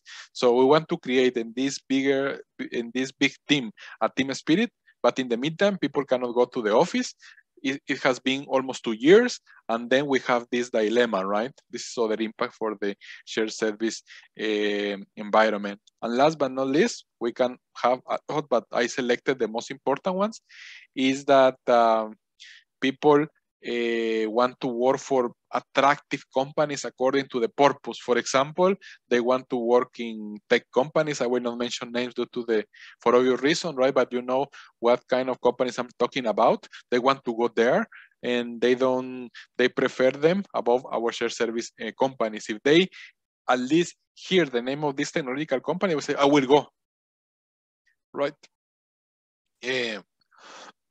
Sorry. I will go. Or biotechnology, right? You know that biotechnology, for example, in our case, we are producing uh, biotechnology uh, arrangements, very innovative uh, medicines, not the typical pills, etc. Right? But you know, with cell, radioactive, etc. Very, very innovative medicine. So they prefer this company versus the others. And then the impact in the shared service centers is that we have less people because they prefer to go even with the same salary or the same conditions, but they will have in their brand the these kind of companies, right? But not all of us are serving these kind of companies, and then we can have shared service impact. Uh, for some, let's be honest, for example, in our case, is good because we can attract people, right? But other uh, companies that you are representing, maybe you have the other challenge, right? That you are with the risk to to to lose people because they will say, mm, uh-huh, but your company is doing X and I want to go for tech because I want to be tech guy. So it buy. Or or your company is doing X, uh-huh. I have the same salary there, but you know, it's this bio they are doing uh, radioactive medicine, etc., like a superhero, right? That uh, for others is quite a, a, challenge, right? So I will close saying because I am almost done with my time uh, and I don't want to use more of your agenda because I know that it's pretty busy. Uh, Byron, but thank you. Good analysis, good uh, points. But uh, what can we do, right? What are the points that we can do? Here you have some advice. This is something that we are trying to do you can uh, select the ones that are applying to you because I know that the realities are different, but uh, based on our experience, you can do the following. Uh, and for sure, you can have more uh, suggestions. So first of all, you need to quantify your, your problem, right? Maybe you don't have a problem, you don't have a risk, or the other way around. You have a lot of risk and you have a lot of uh, key metrics that will be affected for this resignation you know that as a shared services, we our main main uh, um, KPI is the stability in the operation, right? We can do whatever we want, we can move the work, but if we are not stable, we are not reporting, we are not dealing with our services in the way that the, the customers wants, then we are lose, right? People uh, will not be happy and then we can have consequence due to this. So let's quantify the problem. Do we have a risk or no? Right?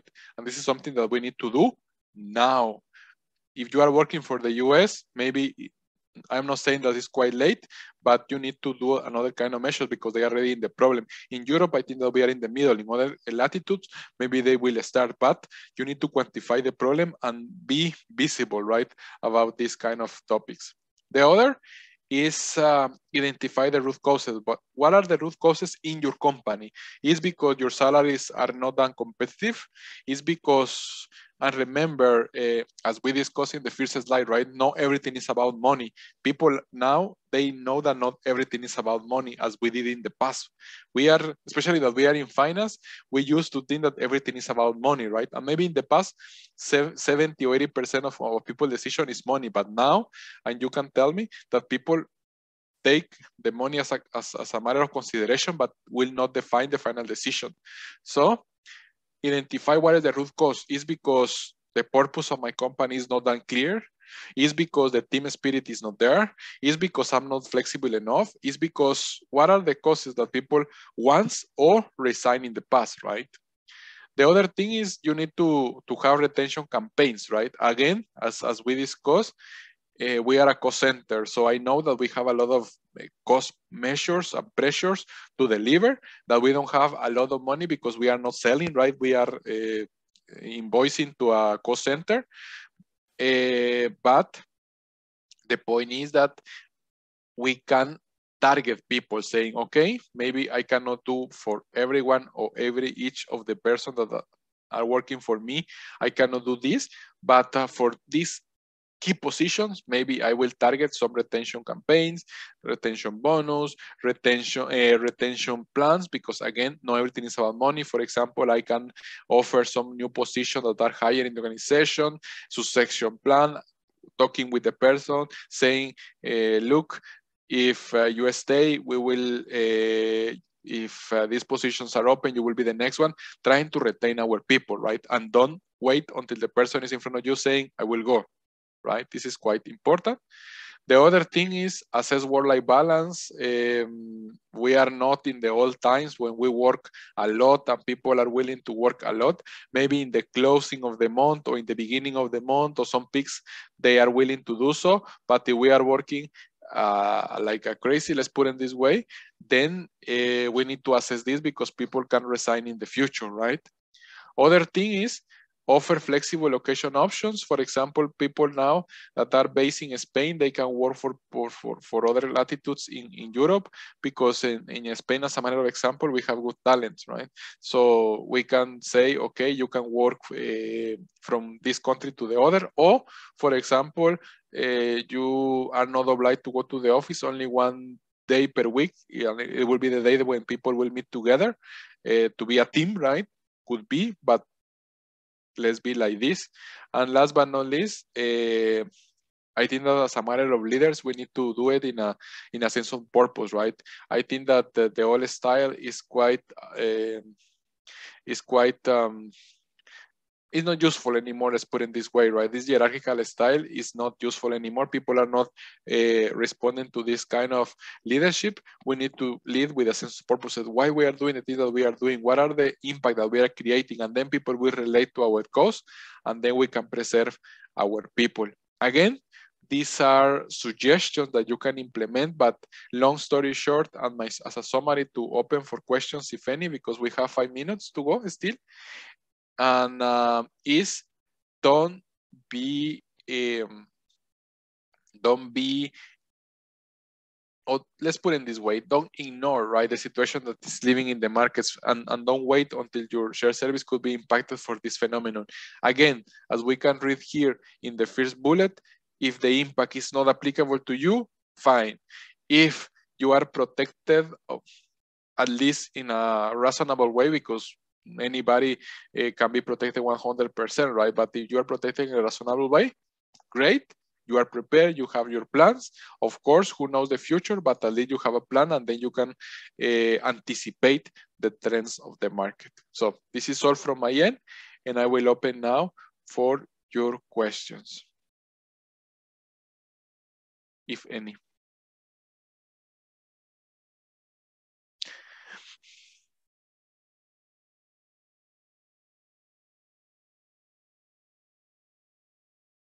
I think that you're on mute.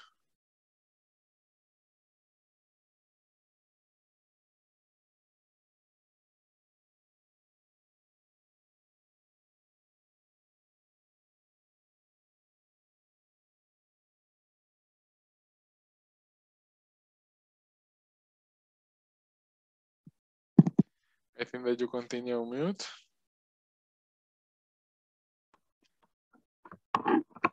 Now we can hear you.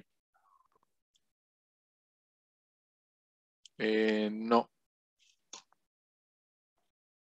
And your mic looks on mute.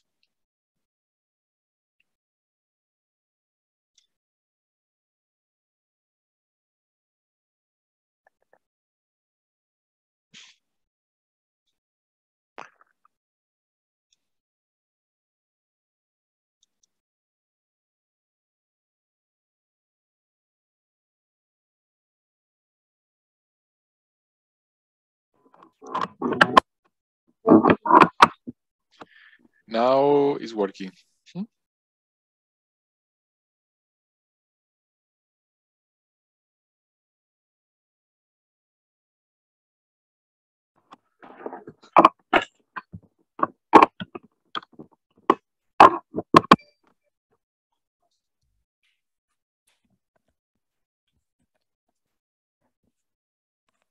Can you hear me now?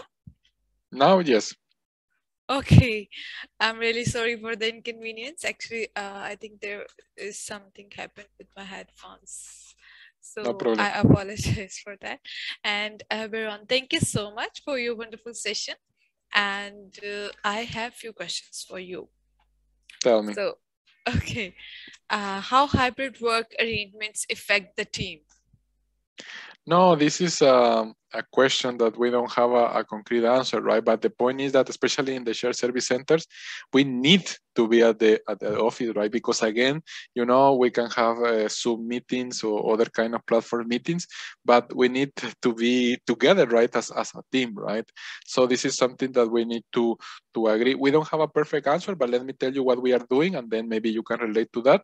For example, we are saying, okay, you have flexible arrangements, you can uh, Uh, please ensure your safety, etc. Everything is fine, but at least one day per week, you should go to the office, right? Because we will have the meetings, we will have the the, the interactions, etc. So this is the thing that we are doing now with the these these new variants. I mean, these new COVID variants, the things are 100% virtual again. But and people, if they want to go, they can go. But we are not saying that we need to go one day or two days uh, to the office, right? It's up to them due to the situation. But uh, before the situation that we have, yes, it was a plan. One day per week to make to, to, to be to be a team, right? To be there. And this is the, the recommendation that I have. But um, to answer directly the question, it is impacting the teams, right? Also, people are are, are quite uh, tired, right, to, to go through Zoom meetings every day, every moment. And then we also need to take care of our teams in this sense. But um, this could be a recommendation. Yeah, thank you so much for your wonderful session and for answering my question. And uh, mm, it was really very productive session and we are looking forward to work again. Thank you for your time. We are honored to have you. Thank you very much and have a nice one. Enjoy your meeting. have a great day. Bye. Bye. Okay, so ladies and gentlemen, hope you have enjoyed the presentation of Brian and it was really very interesting. And now our next presenter is Katie Moroto and she is with us. I'll introduce her. Uh, Katie Moroto is working as a head of business process management, transformation from Asahi uh, Europe and international. And since 2007, leveraging strategic thought leadership and uh, business acumen and process transformation expertise, including lean Six Sigma, and other tools and strategies. Uh, her work is rooted in uh, uh, pragmatism and an execution focused mindset and whether optimizing business models re-engineering and core business processes or connecting the end-to-end value chain from commercial to operations uh, leveraging it so uh, let's welcome Katie and uh, hi Katie can you hear me I can hear you, but you turn off my video, so I cannot turn it back on. Ah, okay. Someone yeah. needs to turn it for me.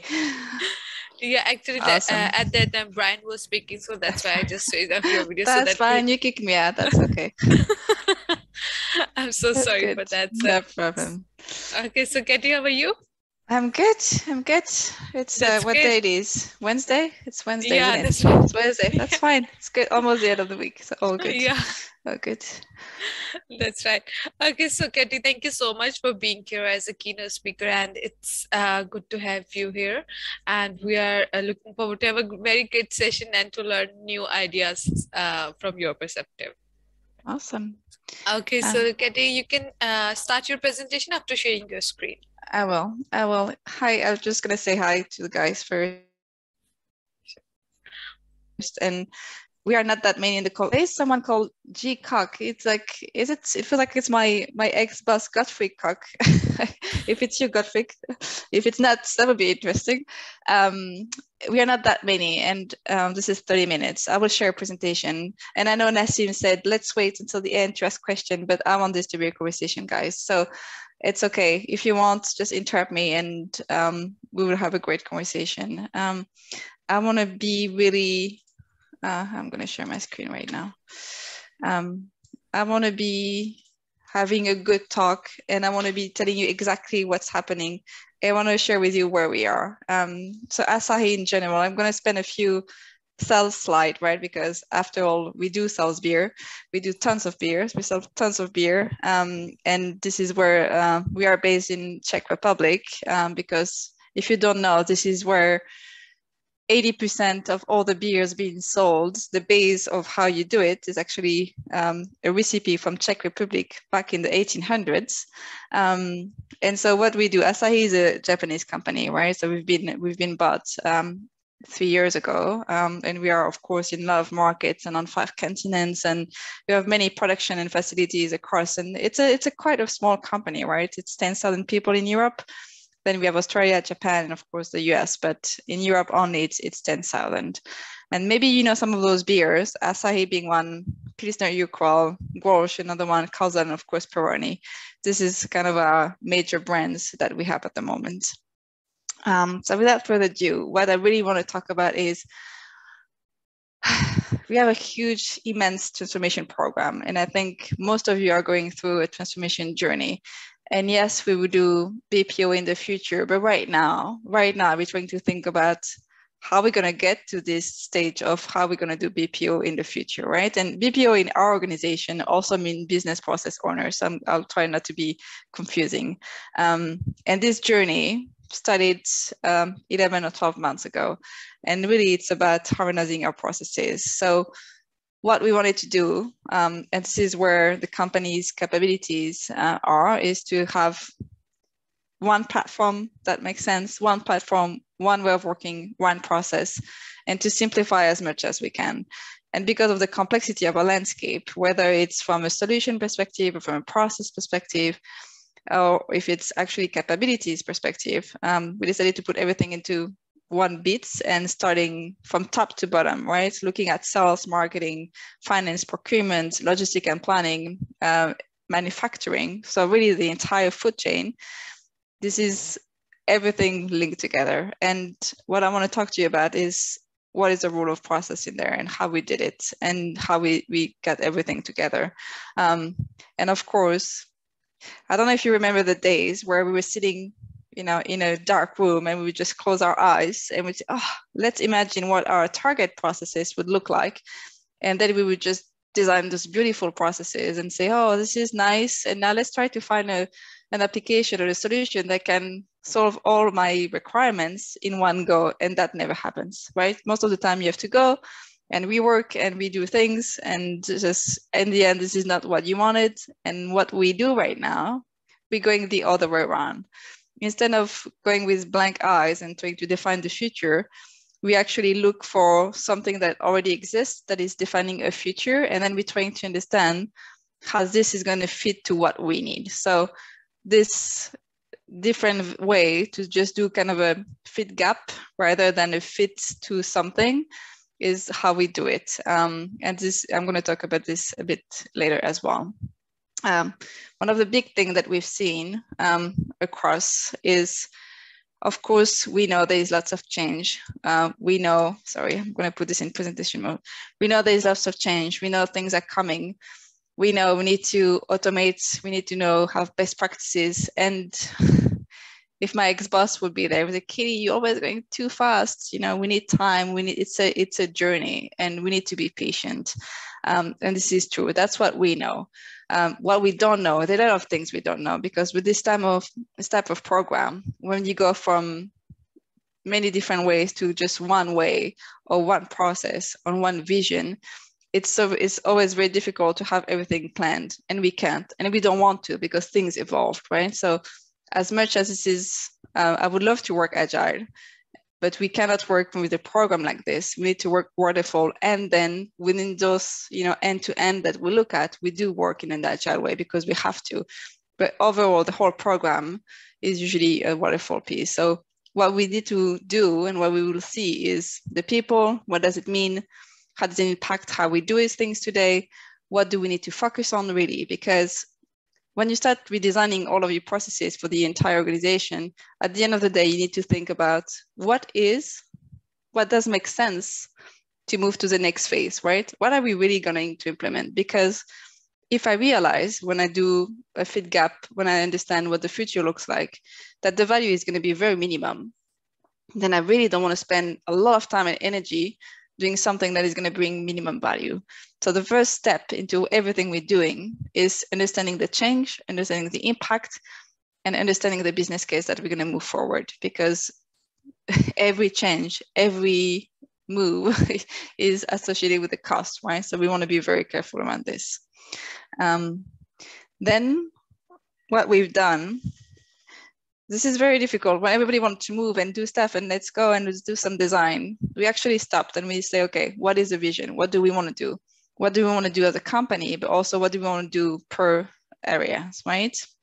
So of course the first one that always comes is yes we need to have great processes. We need to be scalable flexible. We need to be doing this easily. We also need to have one way of doing stuff right? Because right now and i'm sure you have that already in your own organization everybody is doing the same thing in a different way, right? So this is not helpful. And even worse, if you have different systems doing that same thing.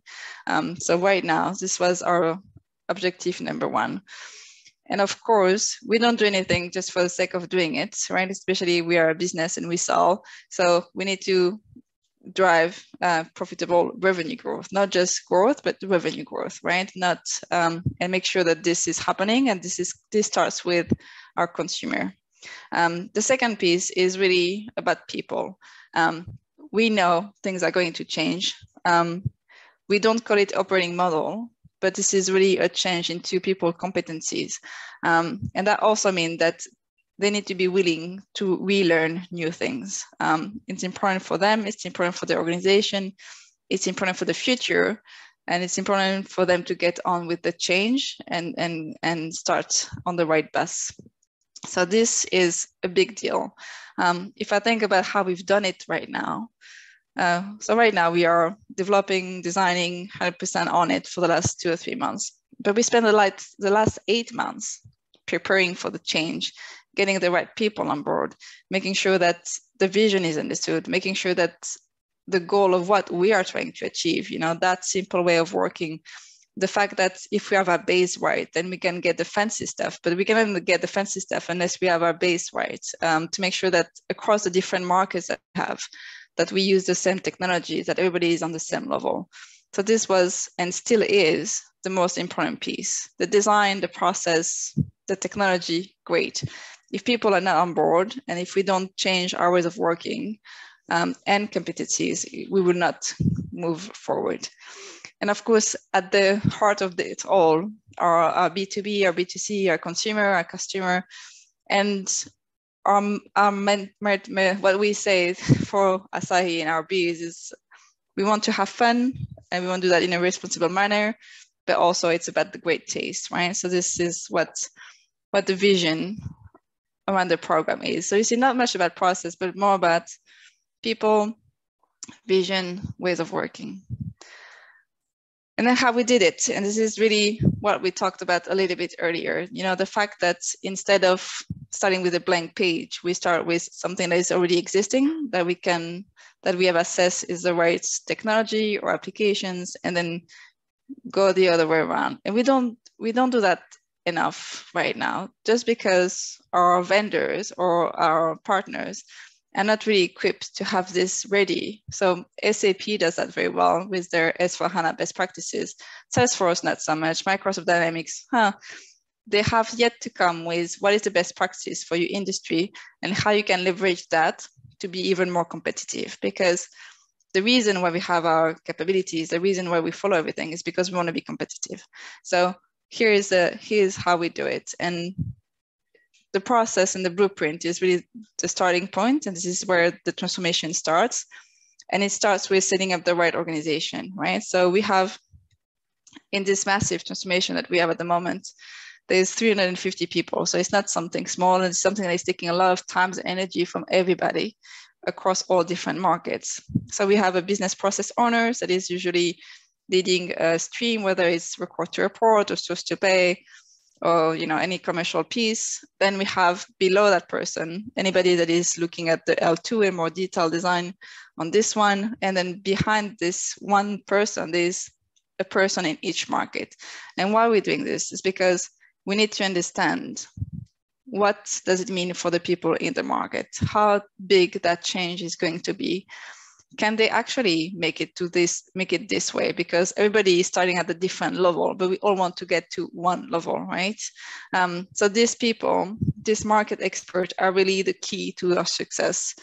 The BPL, the BPO, yes, they're going to be leading, they facilitate, but the people in the business, the one that are actually doing this on a days in, days out, this is where we are betting on the most because and they believe me they are present in all the workshops at the moment because they have to be involved and they will be signing off on the future as well as everybody else so this is what we are doing at the moment to just accelerate our transformation and not spend the next year and a half to design our to be processes to afterwards think about what the right technology to do so so here is where we are the next step is those people we talked about, right? Our SMEs, our business process owners, our lead.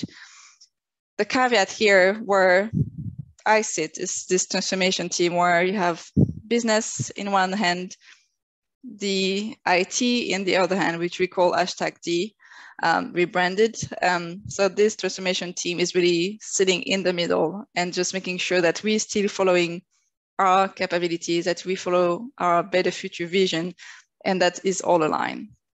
The other two piece here is change management, and we talked about this through the impact assessment, through uh, understanding where we are, how we're going to go there, and everything that comes with it, right? Training, testing, whatever, anything. Um, and the last one is really our, our partner, who are we going to be working with that is going to help us and support us to make that change. Um, and most of the time, that partner is different, whether we're doing strategy and business process vision versus implementation. But that's the next step, and I don't know. So I'm still on the first piece. I'll come back next year and tell you what happened when we started implementing. Um, and that this is what will change. I'm not going to spend too much time on this, but I want to focus on the bottom part, right? Which is, yes, this will be more capabilities. And the other piece I haven't touched really is how we get intelligent automation in everything that we do. So every gap that is being identified, there's also a team with us working on intelligent automation, making sure making sure that this may or may not be solved by something that should be a quick fix, and we don't need to wait three years to get something out of it. Um, insight is another big piece about this because, and you all know this, um, every company has issues or challenges with data. Uh, we are not Google, we are not an internet company, and basically our data lasts uh, year are here for like the last 200 years. And of course, it's a mess, and of course, we need to clean. And it's difficult to find priorities to do that and find the right business folks to do it. And we know that we need to get this ready before we, we get on the next stage. But this is very complex. And data, in our words, is needed to do insights, to do um, trade promotion, to do all those kind of things. This is how we need to leverage this and our ideas to, to solution our processes. this is it. Um, when we talk to people, most of the time, they're like, okay, great, awesome. You're going to harmonize everything. We're going to have one platform to do it all. it should be simpler. Then if any upgrade is easier, everybody's going to work in the same manner. We're also going to have more time to do X, Y, Z because reporting is going to be automated because we're going to do this faster, etc., etc. But what's in it for me? Really, what what does it mean for me in as an individual in my team and and in my market actually also most of the time. So this is very difficult. This is this like three minutes pitch that you have because yes, we need to do it. Yes, this this is the only way we're gonna save cost and, and stop, you know, uh, spreading money. But at the same time, it's also about you as an individual, how you're gonna make it work, and how it's gonna be better for your teams. And most most of them really understand what that means, and you're gonna get better competency. You can take this, you know, to the next level. Um, and the next phase of this, once you have, have it ready, is continuous improvement. How do we make sure that we improve what we have done? How do we make sure that what we have done actually is working? So there's so much more that can be that can be leveraged after we do this. Um, and as a company, um, this is going to bring more consistencies and ways of working. Of course, we want to get our people engaged, right? So 350 people working on a project out of 10,000 is not that much, but everybody, all the way down from the warehouse to the salespeople to the guy doing the spreadsheet in reporting, everybody is going to be impacted because this is not just one stream, this is all coming together. Good, so I'm going to stop now because I want to spend, I know we have 10 minutes left for each. I can, I can do 12 minutes actually. Um, I would like to just have a quick chat with you guys um, because right now this is our journey. This is where we are. Um, but I have many to share and many um, thoughts at the moment and probably going to ask you also some questions. Okay, I'm going to stop sharing my screen so I can hear you and see you. Okay, so um, Katie, we have a question for you in the chat session. It's from Morten Christensen. Uh, once you have transformed your business, do you know how you will make the assessment for a BPO partner? Sure. Um, so we are very conservative, to be honest. So I, they don't, um, in my excom, right? So all the people sitting on the board, they really want to make sure that if we if we do this, we make the right decision for our people. Um, and actually, if you have some ideas, I'm very happy to listen to them because I, I have no clue how we're going to look at it. Um, this feels so far and at the same time so close. Um, and I know we are moving that way. Probably not everything. It's going to have to be conservative, bits by bits, show that it works, and and then um, at the end probably move everything there. But Kristen, I guess it's Kristen, right? If you have some ideas, I'm happy to to take this offline and have a quick chat.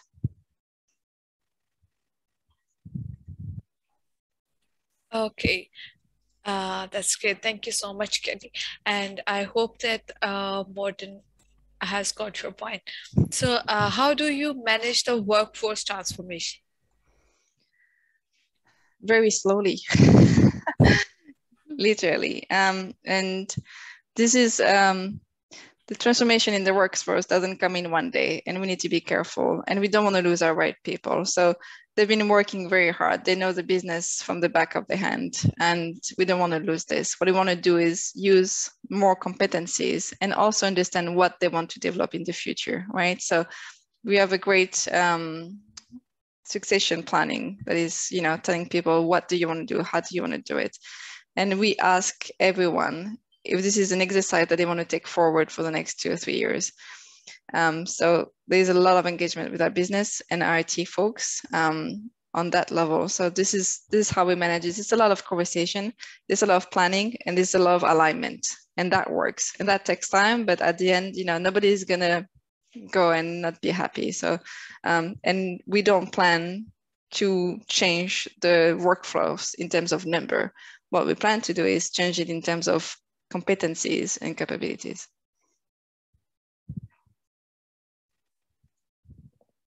I can't hear you. You on mute. I'm so sorry. No problem. okay, so uh, great. Thank you for answering the question. And one more question: What is the main difference between change and transformation management? As for as we know, change and transform are the same. Oh, it's a very good question. Actually, I never thought about it. It's always it's always felt very different. Um, transformation is really looking at the future, right? How are we gonna make it different? And it's not always a clear answer. When we can change, we know exactly, we should know exactly what is going to change and prepare for it. Transformation is the journey. The change is the how we're gonna do it. That's the way I see it. Okay, great. Got it. So thank you so much for your uh, wonderful answers and for your wonderful session. And uh, I'll ask the audience that if someone is having any question, they can ask Katie uh, in the chat session or in the QA session. And she's here to answer us questions. I'm good, guys. If you have questions, that would be great. If not, I can give you some time back and have a coffee break, maybe. okay. Uh, so I think they are not having any questions yet. That's okay, guys. You can reach me, reach out to me, you know, separately if you have questions. Always happy to have a conversation.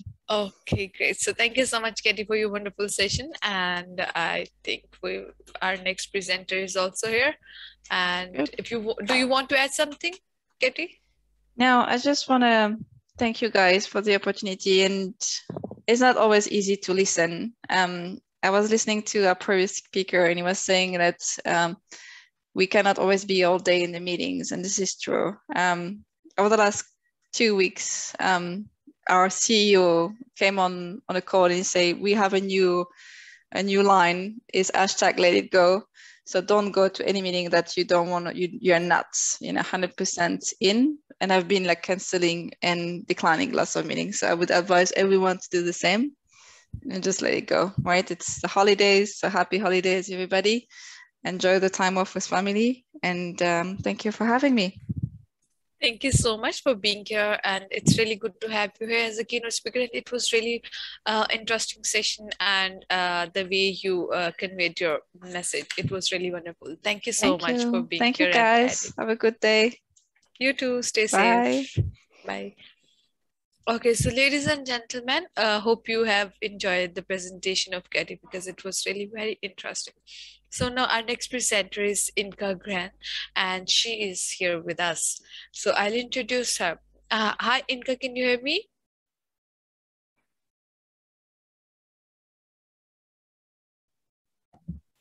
Hi, can you hear me now? Yeah, I can hear you now. So how are you, Inka? I'm good. Thank you very much. Very That's good. great. That's great. Okay, so Inka, thank you so much for being here and joining us as a keynote speaker. And uh, it's good to have you here. And I'll introduce you and then you can start your presentation. Okay. Thank you.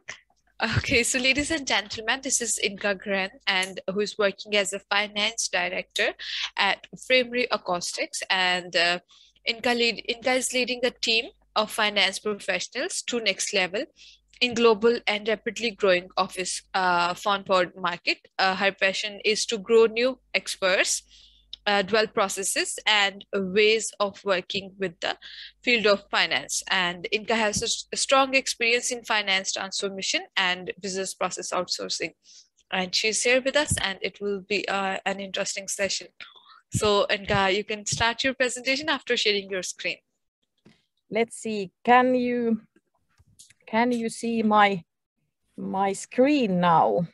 Yeah, I can see it. Very good. Let's see. Now, now it should be visible as, as hoped with full screen. Yeah, it's it's the with full screen. So you can start your presentation. Good luck. Stage is all yours now. Thank you so much. So hello everyone. My name is Inka Gran, and as mentioned, I'm finance director for Framery. Um, let's start what is Framery. Framery is actually making uh, phone booths, pods. And uh, why we are making those is to actually solve noise and privacy problems in offices, uh, different kind of uh, offices and any environment where you need some, some peace and quiet for a moment. And uh, many of our booths can be found from many big players on the global market. So we are globally available everywhere. A few words about my background. So I've been with Framery soon two years now, leading the finance in, in ways of changes and growing Framery uh, globally. My background is in forestry and paper business. I've been plenty of years in United Paper Mills, UPM, before joining Framery. And I have long history of outsourcing and shared service experience from that environment, which I'm now bringing into Framery environment. Let's see that. Um, so Framery and what we are talking now about is that Framery is a pretty new company, only 10 years old, but we have reached already the 100 million euro turnover uh, and the global market. We have over 400 years in the global daily operations, and you can find our pods from, from 75 different countries all over the world. We have 20 legal entities and uh, fixed establishments, and uh, we have won quite many design awards already. But then let's focus a little bit on, on the finance transformation over, overall. So let's think about some sports and especially football. And uh, uh, what has changed during 10 to 15 years in football is more than design of the costumes. But some things are the same. The field is the same. We still play with the ball. We still have certain gear. And that is same for any environment that is changing, that some things are the same and some are then changing. And uh, what has come as a new element for football is actually data, um, artificial intelligence, analytical approach to how players move, how fast, how hard they, they um, do things, how much they run, etc., which has led to a totally different approach in how, how those players are trained and how coaches are approaching training overall. And that is the same in any finance team, that how finance operates is very different today than 10 years ago. We have still debit and credit. They haven't changed, which is good but we have more data, more things done by robots. And overall, leading a finance team has changed quite a lot. And that is the biggest part of the finance transformation at Framery. So leading a finance transformation and leading a team is quite a lot like coaching a team. So any finance team in the same manner as any sports team need to have certain common agreed rules and how we do things. And some of the things we have, what we have agreed on is that we need to play together the same, same game.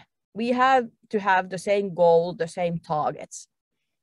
And Framery has a strategy that finance team needs to follow as well at the same time creating an own strategy for the finance. Where, want, where do we want to go? As in any sports, there are some recognized skills that you have to master. And the teams typically have a playbook that they practice. And the same goes for any team that wants to be better. And of course, there are agreed rules that needs to be followed to be the winning team. And as for me as the leader of the team, it means that the leadership has also changed. You can't do it in the same way. And that is part of the transformation. So how the finance team operates and how it is led and coached. So as a team leader now for, for today's finance team and how we see forward towards the future, new elements are important, such as data understanding, psycholo psychological aspects, leadership skills. In my team, we have four different generations presented. Of course, all of the generations have different needs, different things that are important. And therefore, there are always risks for conflicts. So the leader needs to also master conflict management. And if compare this list to any list 10, 15 years ago, um, it looks very different. And I would say that this is today's view of the coming few years, how we need to do and, and what are the important things. And after a few years, the list looks different again. But um, as said, I'm repeating myself, but soft skills and playing together are the keys for the transformation. It is not, not only ERP change, data change, automation, it is also how people see things and how they do things that affect. At Framery, there are few very recognized elements of the finance transformation. One is the IT architecture. It affects the daily life of finance, how the IT environment looks like. But we are not in our transformation focusing on changing ERP or doing any major changes in the IT architecture, but minor one, they are daily life, uh, how we develop our tools that we work with, what kind of software we add to the existing architecture. Then there are the yellow uh, part that is business environment and its changes. We are in a rapidly growing environment and uh, as Framery is only 10 years old, you can just imagine the change of business that has taken place from 1 million to 100 million turnover. And the future will as well include many business environmental changes, global logistics challenges at the moment, uh, pandemic, what has it caused to workplaces and work environment. So world around finance doesn't stay still and it changes. And that affects also how we need to change and transform. Then we have the blue part, which is people with roles and responsibilities. And that is one of the biggest change that we have already done and we continue with is that what are included in different roles and what kind of responsibilities finance actually takes as part of supporting business. Then there are the orange part, which is new requirements. And the new requirements is not only our new requirements, it's also surrounding requirements by tax authorities, local authorities, and especially, automation, analytics, and data has brought in new requirements that most of you probably recognize as, uh, as different uh, reporting, uh, electronical reporting things. And the other red block is time. So we face the situation that the world clock tends to tick faster and faster. Things need to be faster, uh, developed, uh, brought into market, um, on time, everything. But the finance clock has not yet reached the more and more faster ticking world clock. Finance still lives in the quite steady once a month reporting cycle and once a year yearly closing cycle. And playing with this world clock ticking finance monthly cycle is something that we need to also transform and think about that what data and information is needed on a weekly basis and what is enough on a yearly basis. So what does it take to go into this type of transformation and recognize it and work with the team to move forward? So it is not only a IT or process change that you decide to change something. People need a bit of time to catch up that what is it really that is expected? How do we do this? What does it mean for me? So people is at our change in the focus. It is especially for leaders a balance between patience and implementation speed. So what happens in practice as the implementation speed and the patient for patience for the people to catch up and understand what is happening. And um, ways of working are not changed overnight. Um, you can announce it uh, overnight, but it to actually take action and be a daily routine is a different story. And what we have noticed here and also in my previous experience is that the transformation managers are running ahead of the team. So they are way ahead planning different things, what's happening next. And they have been in the middle of planning those changes for a long time compared with any team member.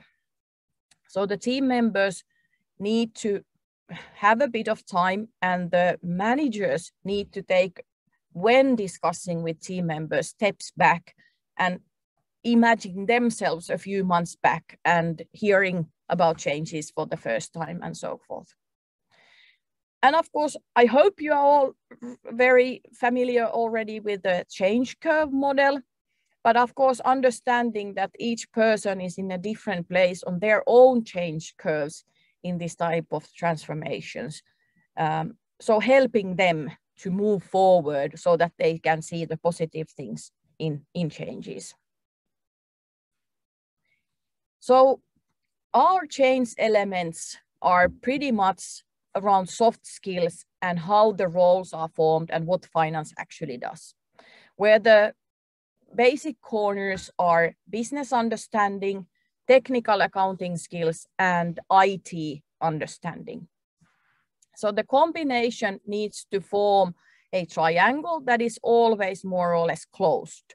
So that when something happens in business, we have to understand how it affects our accounting and reporting and have a basic understanding of the IT environment. I'm not saying finance persons need to be IT specialists, but they need to have the overall understanding how things work so that they understand whether something gets broken in IT or if something needs to be changed. And of course, a very close cooperation with the IT partner so that this understanding is really created and uh, you can achieve that. So when any key element changes, all of these three corners are affected and the triangle needs to keep its form. So the finance persons need to understand the big picture and act accordingly. So we need to have a re really deep knowledge on technical accounting skills as that's our bread and butter. But then we have to have basic understanding as well of the business as well as the IT. And these are the new things that we have started to develop with changes with our roles and responsibilities. That finance cannot be uh, somehow alone somewhere and just look at numbers without truly understanding uh, how they relate to business.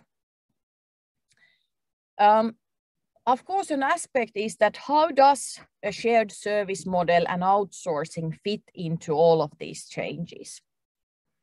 Our Framery setup is such that we have one global team in Finland. Um, so we have a shared uh, service approach that supports globally all of our legal entities. And we do not have any finance team members anywhere else than, than in one location to be able to provide good services for the business and support decision making, we have to truly be able to understand also different local requirements, especially related to taxation, payroll, and statutory reporting. So therefore, we have one outsourcing partner supporting us in Europe and Asia Pacific area in any payroll, local reporting tax questions. Though the Framery own team is responsible of all reporting and numbers, but we have an outsourcing partner preparing, um, answering questions, supporting. And then we have one outsourcing partner for Americas area for the same purpose. The challenging part and at the same time, the interesting part is the cooperation with our outsourcing partner from our uh, shared service center. From the perspective that we are expecting from our partners the same as from our own teams. And this has been a new approach for, for some of the outsourcing partners from the, the perspective that uh, we are very much an open discussion uh, house uh, combined with, with a heavy service and development mindset. That this is the same approach that we expect from our outsourcing partners. And that was also one of the selection criteria. And what we have brought in is also design thinking into finance and, and payroll services from the perspective that we do understand who we are working with and what their needs might be so that we actually put our finance team members into the position of the other party that is involved. And that has been also a new approach uh, for our outsourcing partners that they need to understand a bit the whole environment, why somebody is asking something. So for us, this centralized service center and limited number of, of outsourcing partners fits well uh, because that way we have harmonized ways of working. We have same approach everywhere. We have limited number of contact persons and partners for any of our business teams. They know who to contact. Um, and there's not a long list of names here and there. Uh, with limited number of our uh, outsourcing partners, we have clear escalation paths. If something doesn't work or goes wrong, we know how to start solving those. And also based on, on this small number of partners, we have also established good cooperation models with them. And also implemented now centralized billing models, which helps us to manage the costs. Just a short um, view of how we have divided the work then between in-house and outsourced services. So for, for financial controllers, we have in-house own geographical responsibility areas that they take care of from accounting, financial reporting perspective, review and approval of local statutory and tax reporting, and, and uh, our own financial controllers are the main points of contact towards any Framerian.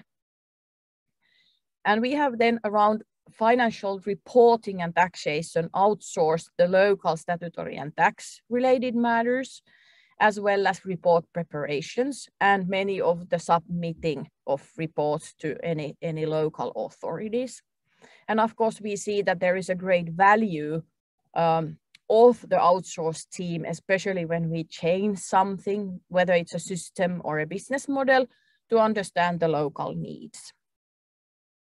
Around payroll, um, we have in-house uh, the local uh, production entities payroll in Finland, uh, but otherwise in payroll, uh, the review, review and approval is in-house, but then the payroll calculation, regulatory change updates, tax-related questions are, are outsourced to our partner. And a similar setup for APAR so that we managed manage in-house APAR, uh, but then especially VAT, GST related questions, clarifications, um, we have uh, outsourced and in some countries also payment related support. But what does it mean to own team and the outsource team is pretty much that we get this working is the skill set of the future team. And uh, reference to the beginning, um, there's a picture of Finnish football team. Um, and within any sports team, there are different roles. So one is a goalie, one is a fullback, one is a scorer. And we have approached Framery finance team transformation in a similar manner that we have selected roles that we want to have and we have started to fit in those within the strategy of the team and the company, and also understanding what is the skill sets needed. And we have, eh, for example, some special skills that we want to enhance in the team uh, related to analytics, treasury, taxes, ERP. And uh, it is now understood within the team that everyone cannot be master of all skills, that we have to have a good balance within the team, that one is specialized in one topic, another one in something else, and not everyone is involved in everything. And uh, the biggest transformation in skills is around soft skills. And here are some examples that we are paying attention to at the moment. So what first one is presentation skills to get attention and ensure that you are understand wherever around Framery you go or with any authority. Communication skills that you can change your style depending on the situation problem solving so that we as a finance do not arrive with a problem into a meeting and just state it, but we go into any meeting so that we are our focus, main focus is to solve any of the challenges that we might bring with us, for example, regulation, uh, limitations or anything like that. Interest to learn new things gives us endless opportunities and growth opportunities. Also, courage to share your opinion. All views are needed. It is very important that the different views are shared. Cooperation skills, as well as willing to share the information. So when one learns, everybody learns and, and we can build on that. And one of the biggest challenges for us at the moment is the process understanding, how everything is interconnected. If I change something, what happens? If somewhere else something changes, what does it mean for finance? And there, there we are uh, having quite a lot of things for next year to improve the situation.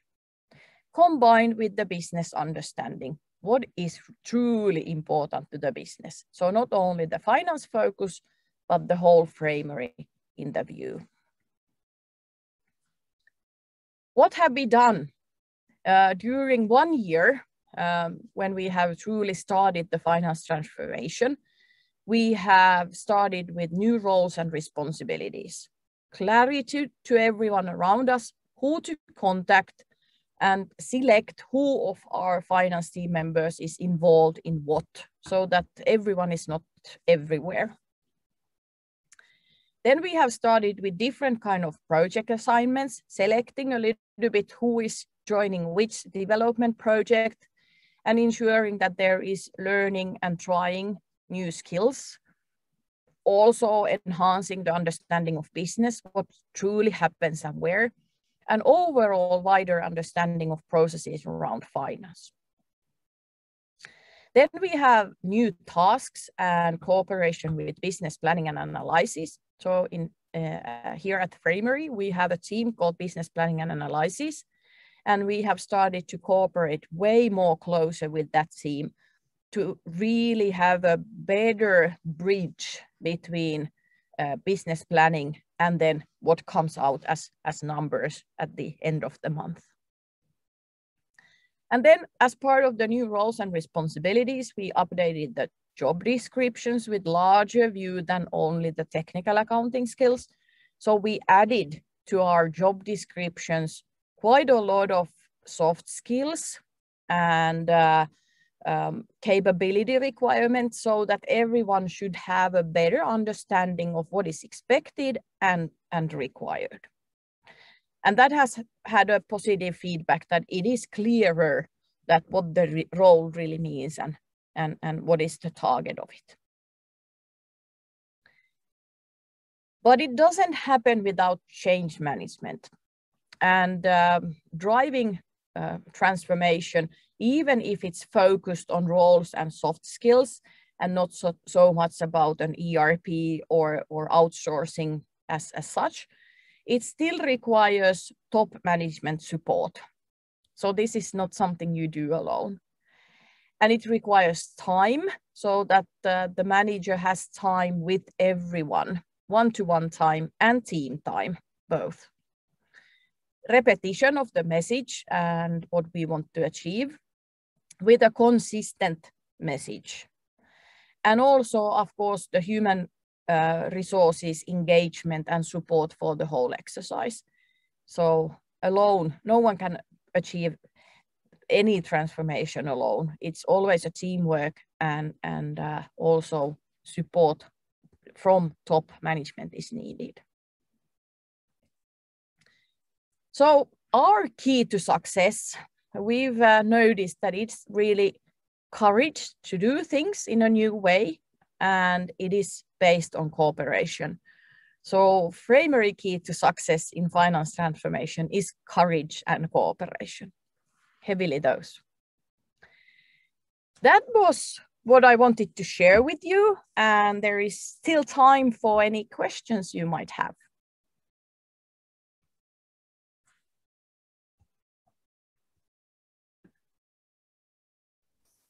Okay, so hi, Inka, can you hear me? Yes, I can. Okay, great. So thank you so much for your wonderful uh, presentation. And I have a question for you. So I'll ask you, uh, in what ways you have centralized uh, billing models? We have centralized billing models with, with uh, our outsourcing partner so that uh, the outsourcing partner um, internally solves out that which country, what costs, and we as a framery only receive one invoice from one company uh, from this outsourcing partner. So we monthly receive one invoice for all the services globally that, that we have from that outsourcing partner. Okay, great. So thank you so much, Inka. And it was uh, really a very wonderful session. And uh, it was very informative. And thank you so much for being a part of this conference and for adding value. And i'll ask the audience that if someone is having any question they can ask in, in the qa session or in the chat session. Okay. So thank you so much Inka, for you. your session for your time. Have a great day. thank you. Happy holidays everyone. You too. Thank you. Bye bye bye Okay, so ladies and gentlemen, I, I, hope you have enjoyed the presentation of Inka. And now our next presenter is Stephen Marco, and he is with us. Hi, Stephen, can you hear me?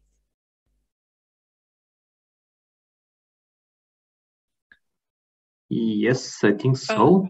Yeah, okay. I, I was unmuted, that's why, but let me just uh, uh, start my camera. So okay, sure. Be able to see me. Okay, yeah. so Stephen, good. How are you? I'm doing great. That's great. Okay, so, uh, thank you so much for being here. And uh, we are honored to have you as a keynote speaker. And I'll introduce you and then you can start your presentation after that, okay? Indeed, yes. Okay, so ladies and gentlemen, here with us is Stefan Marco. He is RTR service delivery lead at Cargotec. And uh, Stephen leads, manages, and organizes the service delivery team globally, including external BPO partners, uh, service delivery. He ensures the process performance uh, of the CBS service delivery in accordance with SLA uh, best practices, internal controls, and KPIs. And Stephen has overall responsibility of service strategy and road mapping. And it would be a pleasure to uh, have a, um, your knowledgeable session, okay? Thank you. Okay, so Stephen, you can start your presentation after sharing your screen. Exactly.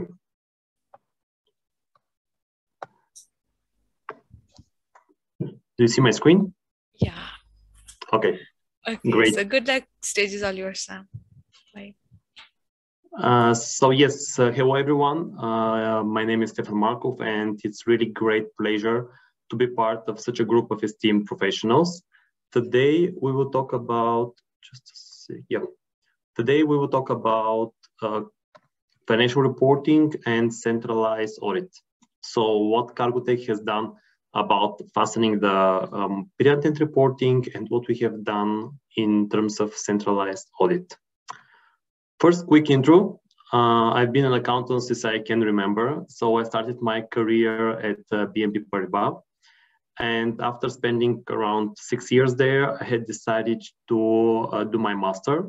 Usually people opt for another area, but this time I still did uh, accounting. So I had my master in accountancy and uh, control from the University of Amsterdam. Right after that, my journey with the Shared Service Center environment started and I joined Coca-Cola. Uh, shortly after that, I started at Ingram Micro and currently I'm part of uh, Cargotec as R2R service delivery lead. During those years, I've also managed to uh, pass all my ACCA exams. So currently I'm an ACCA uh, member. And besides my professional life, uh, I can say that I really adore traveling. Unfortunately, due to the current travel uh, development, I'm not really able to travel. So that has been put on hold for a while, but I hope that soon I'll be able to resume my, uh, my hobby. Yes, so I've mentioned Cargotec. This is really a quick video of what Cargotec is.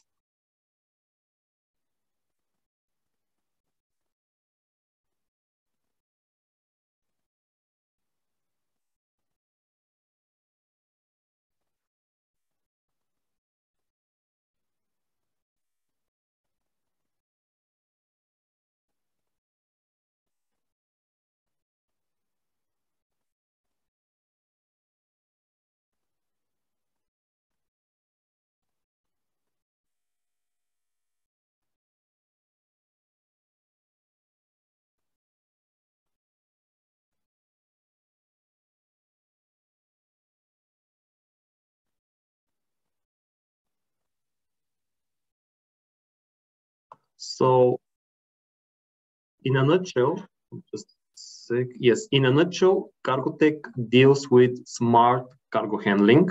So we have three main, it's a Nordic company with headquarters in Finland. Uh, so we have three main businesses, Kalmar, Hiab, and MacGregor. MacGregor shapes the marine industry. Kalmar deals with automated terminal solutions and Hiab is a leading provider of global on-road load handling equipment. Then moving to CBS, which is Cargotec Business Services, the center opened doors back in August 2017 here in Sofia, Bulgaria, covering finance, HR, and indirect uh, procurement. Afterwards, uh, we opened two hubs in uh, states, in the States and one in uh, Singapore.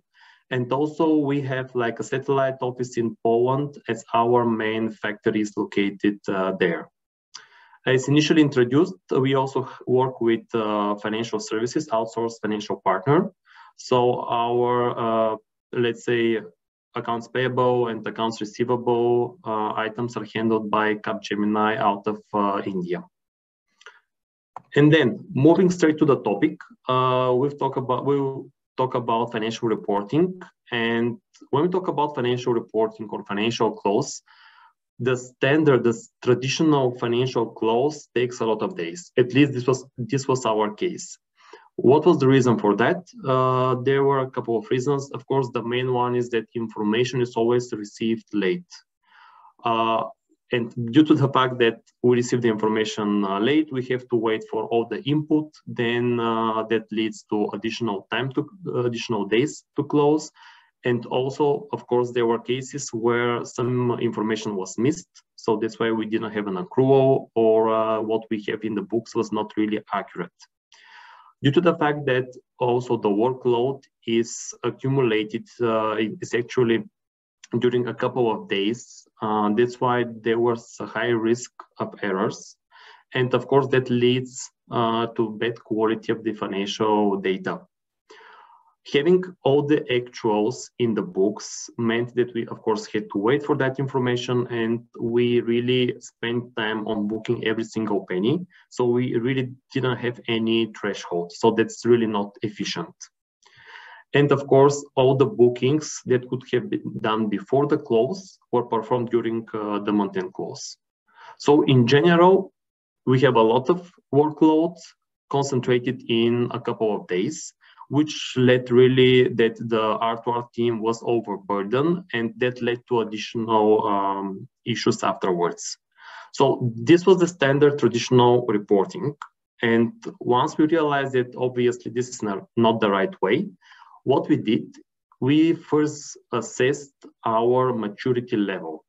And that assessment was based on those six dimensions, covering roles and responsibilities, policies, the systems and technology that we, uh, we employ and utilize, uh, how the change management is implemented, and of course, our uh, reporting uh, cycle. So based on these six items, dimensions, we will have a look at that uh, briefly. We determined that Cargotec as a, uh, as a Cargotec Business Service Center was between 2.5 and 3. So if 4 was the was the best in class level and 0 or 1 was the basic maturity level, we were a little bit above the midpoint, which was not really satisfactory. So knowing what was best in class and where we were at that moment, we identified the gap. And then the next next question was how to close uh, the gap, that gap. We did that by several initiatives. Uh, but before moving to those initiatives, I just wanted to share with you in general what is best in class because i think that that will be really helpful for all of you and starting with roles and responsibilities usually here i know that it's a cliche but we really need to have clear roles and responsibilities. And how we did that? By standard uh, checklist maintain checklist stating what is the deadline for let's say particular input from the business? What is the deadline for us in terms of r2r activities in terms of uh, deadline for SAP in our case, and also for the consolidated uh, consolidation system. So we really set what information should be sent by whom and by when. And based on those clear roles and responsibilities, we also established our governance model and respectively the SLA.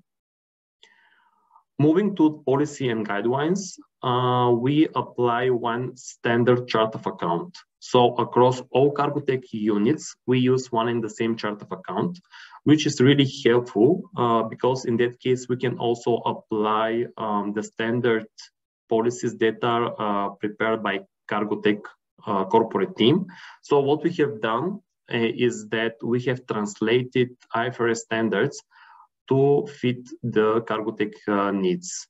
So for every uh, IFRS standard, we have translation to, uh, let's say, Cargotec business in terms of fixed assets, inventory, and also based on the fact that we have standard processes across all the units, we can easily apply those uh, policies and uh, guidelines.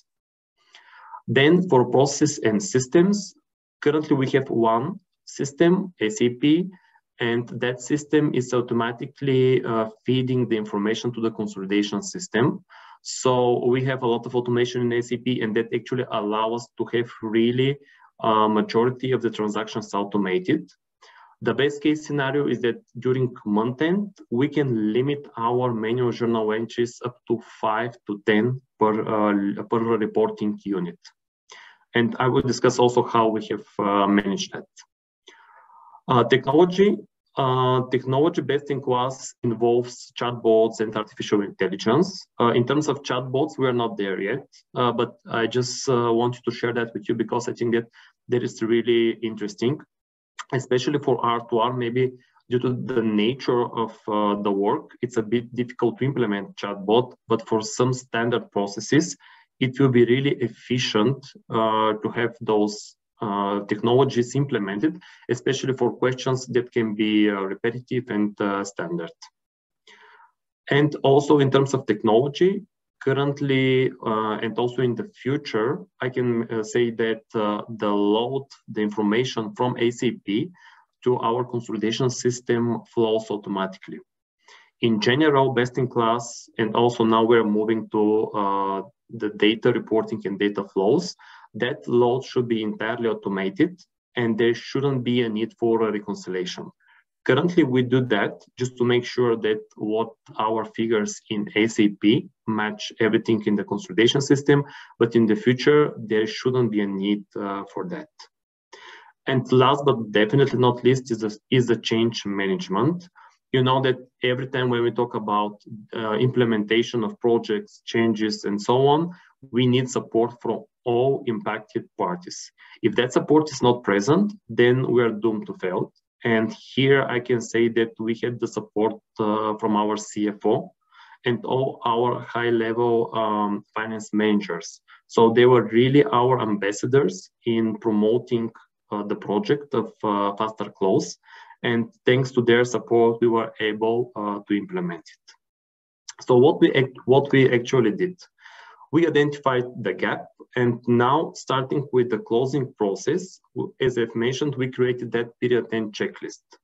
Also, we moved quite, uh, let's say, many activities from uh, close period to the period before uh, the month-end close.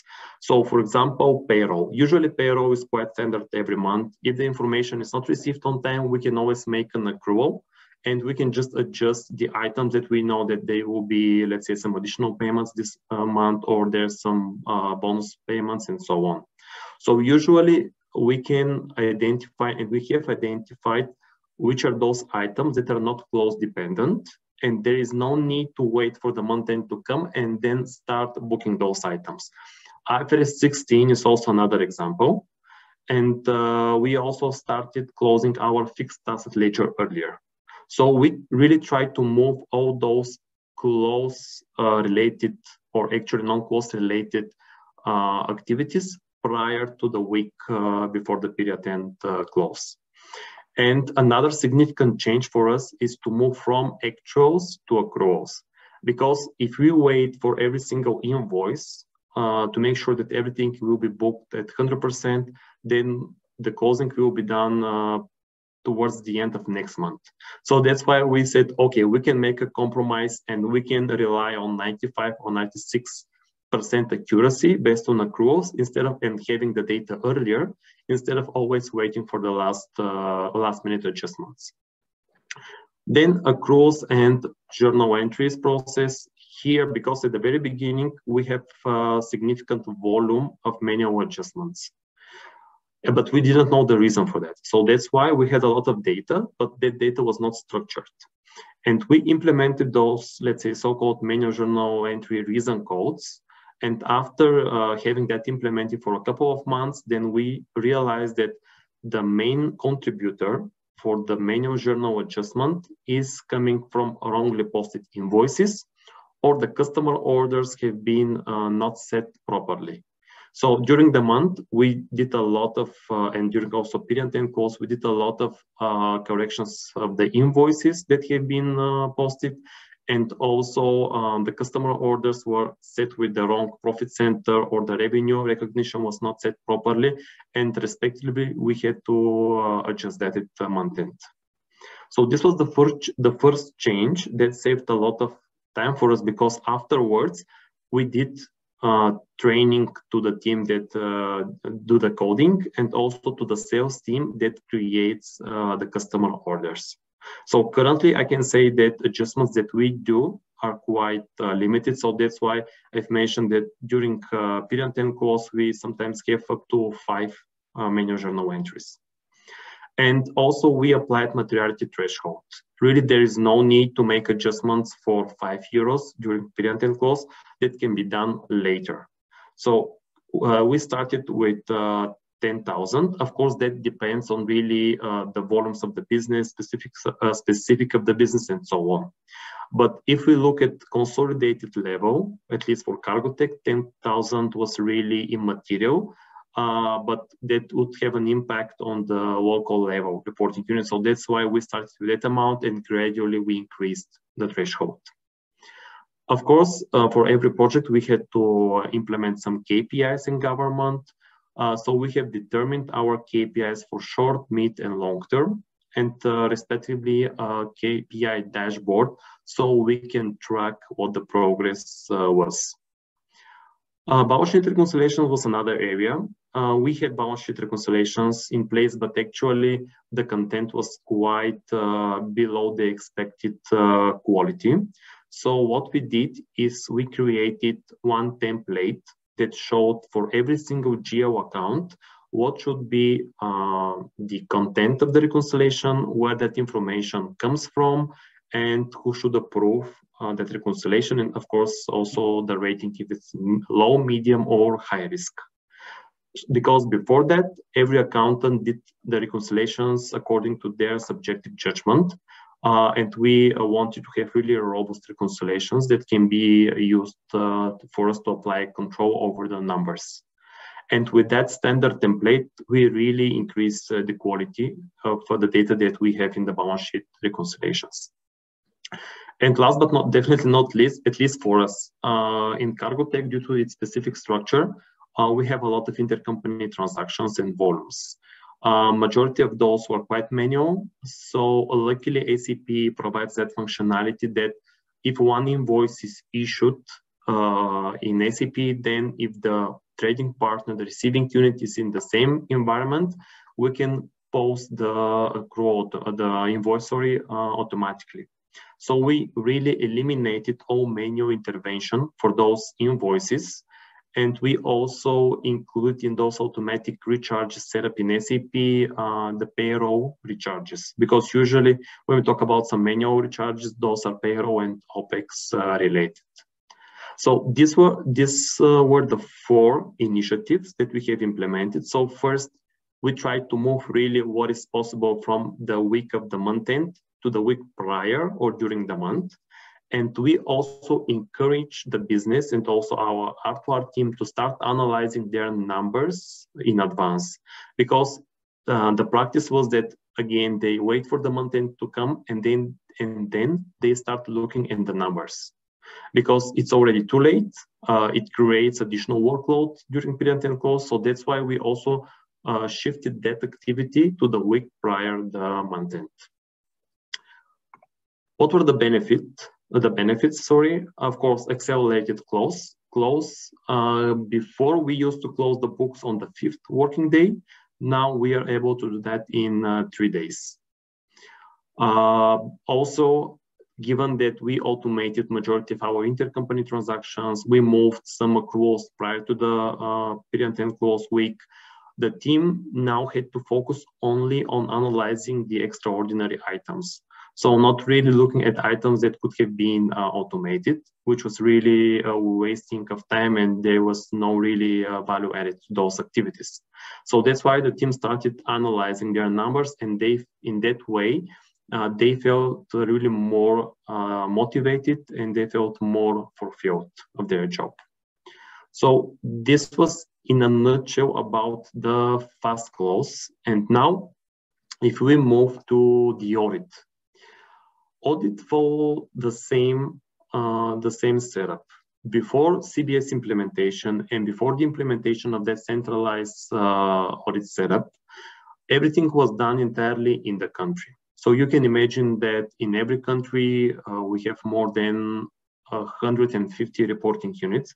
In every country, there was a separate audit team, uh, which worked together with the local team. So it was entirely decentralized. There was no coordination, of course, no clear roles and responsibilities because no one is actually owning that process. Uh, due to the fact that there was no uh, standard process implemented, uh, in most of the cases, the financial statements were not submitted on time, meaning that uh, we had to pay a lot of additional fees uh, to the tax authorities also to the auditors and uh, so on, which also impose some financial risk to the company. So in general, when we talk about traditional audit and the cases where the audit is done entirely in the country, given that there is a shared service center environment, we always face those challenges. So what we did, uh, our new ways of working involved having dedicated team. Uh, we call it country finance management team so that team is, is entirely responsible for the statutory matters and they deal with external uh, auditors, with the tax authorities, and then and they make sure that all the deadlines are kept. Now, having that dedicated team, of course, we had clear roles and responsibilities. What CBS is responsible for, what the business in terms of the financial partnering is responsible for, and also uh, so-called country finance management team. So for every audit, uh, that team organized kickoff calls where we agreed again what information we will provide by particular date, will that information come from us, from CBS, or it will be provided by the local business in cases where we didn't have access to that information or the information was sensitive or confidential. And also, instead of waiting for the year end to come and then to start the audit procedure, uh, we identified all those items that can be already provided in advance, which were not really close dependent. For example, um, access to the bank accounts, who can approve the payments. This is a standard procedure for all auditors, and that information can already be provided in advance. Uh, heavily focus on the interim audit. So really, uh, usually the interim audit covers the first three quarters up to September. Uh, but we also incorporated October and November, and even in December, uh, we did a lot of testing to make sure that the majority of the transactions will be covered. Uh, but this is specific for Cargotec because our deadline for the group audit is 17th of January, which is really quite tight. And uh, after the year end, we have uh, around five days to finalize the uh, group audit. So that's why, again, we moved as much as possible towards uh, the months before the year end. And something which is really important here is that uh, with CBS having all uh, the countries in our scope, we implement so-called centralized testing. That means that here in Sofia, uh, we work let's, with one team from our auditors and one person, for example, is uh, dedicated to testing inventory or testing fixed, fixed assets. In the past, those auditors in every single country, one auditor had to audit all the different functions. And uh, usually when we do those walkthroughs with the auditors, you can imagine that in every country, we had to explain all the processes to all the auditors. But now having that information here in uh, our center. Uh, we work with one person for fixed assets. We explain to that person uh, how the process flows, how we acquire fixed assets, how the depreciation goes. And then we provided all information, all fixed asset registers for all units to that person. And it was really efficient uh, because in that case, the person had really thorough uh, understanding of uh, the process and they can easily test uh, all the countries at once. What else? Uh, standard audit list. Uh, similar to balance sheet reconciliations, we did the same list for audit requests, which means that every time a person uh, gets a request for AP or AR subledger or some inventory movements, that person can go to that standard list they can see what is the source of information and what information, the format that we need to use, uh, we need to uh, we need to provide to the auditors. In that case, we really decreased uh, the bad quality that we had prior to that implementation because before every single accountant again applies some subjective judgment uh, what input and what information actually output. In that case, we need to provide to the auditors. So now having everything standardized, standardized, uh, it also saves time for the accountants um, not to look for the sources of that information. RPA was also implemented here, and thanks to the centralized audit, again with the example of fixed asset registers, uh, here, we created a robot that extracted all fixed asset registers for all uh, reporting units in the scope of audit. So in one click, uh, we were able to generate uh, a hundred uh, fixed asset uh, registers, and that information was automatically provided to the auditors. The same applied for AP, AR subledgers, and all those standard processes. What else? Uh, yes, visibility. This is related to the fact that working with centralized audit team uh, and their platform, we could easily check all the requests that have been sent to us. What is their status? Uh, if some of them have been returned due to uh, missing information or poor quality, and afterwards uh, we can, uh, let's say, update our standard list. So this was uh, our way way of working with the new setup. So we had centralized team here in Bulgaria, which performed the majority of uh, the items which uh, perform audit for the majority of the items. And in the local uh, audit teams, what is left was related to some tax-related uh, topics for which uh, the centralized team didn't have enough understanding. Uh, again, benefits. Uh, after implementing that setup, we were able to submit our financial statements on time due to the fact that we applied common methodology common methodology for the timeline, common methodology for the data that we provide, and in general for the ways of working and roles and responsibilities. Uh, after implementing that standard list, of course, we had better quality of the data and uh, all the information that has been provided to the auditors was uh, with good quality. And due to the fact that uh, we didn't, we meet, of course, uh, all the deadlines, we didn't have uh, late penalties, the new process was really more efficient. So again, when we talk about audits, here it will be really good to take advantage of the fact that you have established your shared service centers and you have all the information in one place. And it will be really easy and efficient for the auditors if one person look at all the data uh, for specific function, in that case, fixed asset inventory, or revenue recognition uh, for all the companies that are in your scope. So this was from my side. Back to you. Okay. Uh, can you hear me? Yes, I can. Okay, so Stephen, thank you so much for your wonderful session. And uh, I'll request the audience that if someone is having any question, they can ask you in the Q session and in the chat session as well. And I have some questions for you. Uh, how we can maintain continuous accounting in this pandemic? Yes, a continuous accounting is related to the fact that we shouldn't depend on month-end close. And what I uh, try to explain at least is really to have all those activities outside of the closing. For example, apply uh, accruals based on not uh, actual data, but based on some estimates.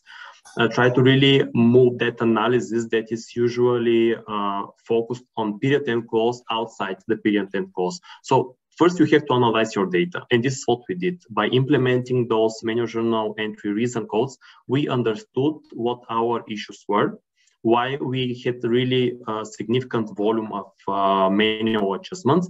And by eliminating uh, those reasons, we were able to really achieve that stage where currently majority of the information is already available, regardless if it's month-end or not. Okay, great. So thank you. And one more question. How financial uh, risks and additional fees can be uh, deceased in centralized audit? In centralized audit, the first efficiency comes from the fact that you have one team looking at all reporting units. So instead of having different uh, local teams, different uh, local audit teams in the countries, you have currently only one. So I can say that for all those 100 reporting units, uh, the team here, uh, the audit team is around 12 people. While in in the past in every country we had around uh, three up to five people. So the first efficiency comes from um, the size of the audit team. The second efficiency comes from the fact that all the financial statements uh, were submitted on time and were signed on time. Because uh, before that centralized setup uh, we had really significant delays and actually uh, the penalties from the tax authorities uh, were not immaterial Okay, got it. So uh, thank you so much, uh, Stephen, for answering my questions and for your uh, very informative session. And we are honored to have you. It's good to have you here as a keynote speaker. And I'll ask the audience that uh, they can contact you in the chat or in the QA session for any questions they have. And thank you so much for being here and adding value in our conference. Thanks a lot for having me and have a nice day. Have a nice day. Happy holidays. Bye-bye. Bye. Okay, so uh, ladies and gentlemen, hope you have enjoyed the presentation of Stefan. And uh, now our next presenter will be Benjamin and uh, Sokolovsky. And uh, He will be with us after 15 minutes and now we will be having a short break uh, for 15 minutes and we will start our present next presentation at 2.30. So uh, you all can grab coffees and something to eat. And uh, let's catch up at 2.15. Sorry, 2.30. Good luck, have fun.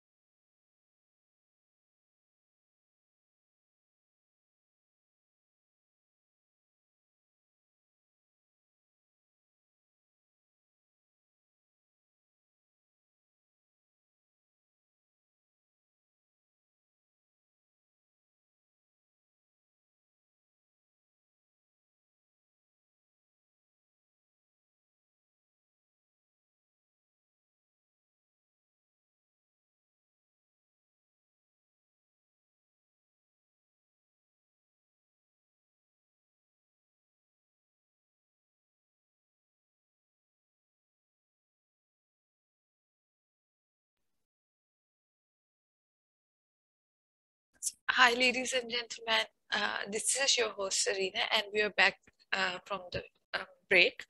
And now our presenter is Benjamin Sokolowiecki, who is the Internal Transformation Specialist at Wintershall DEA. And he will be with us uh, within a few moments, so stay connected. Thank you.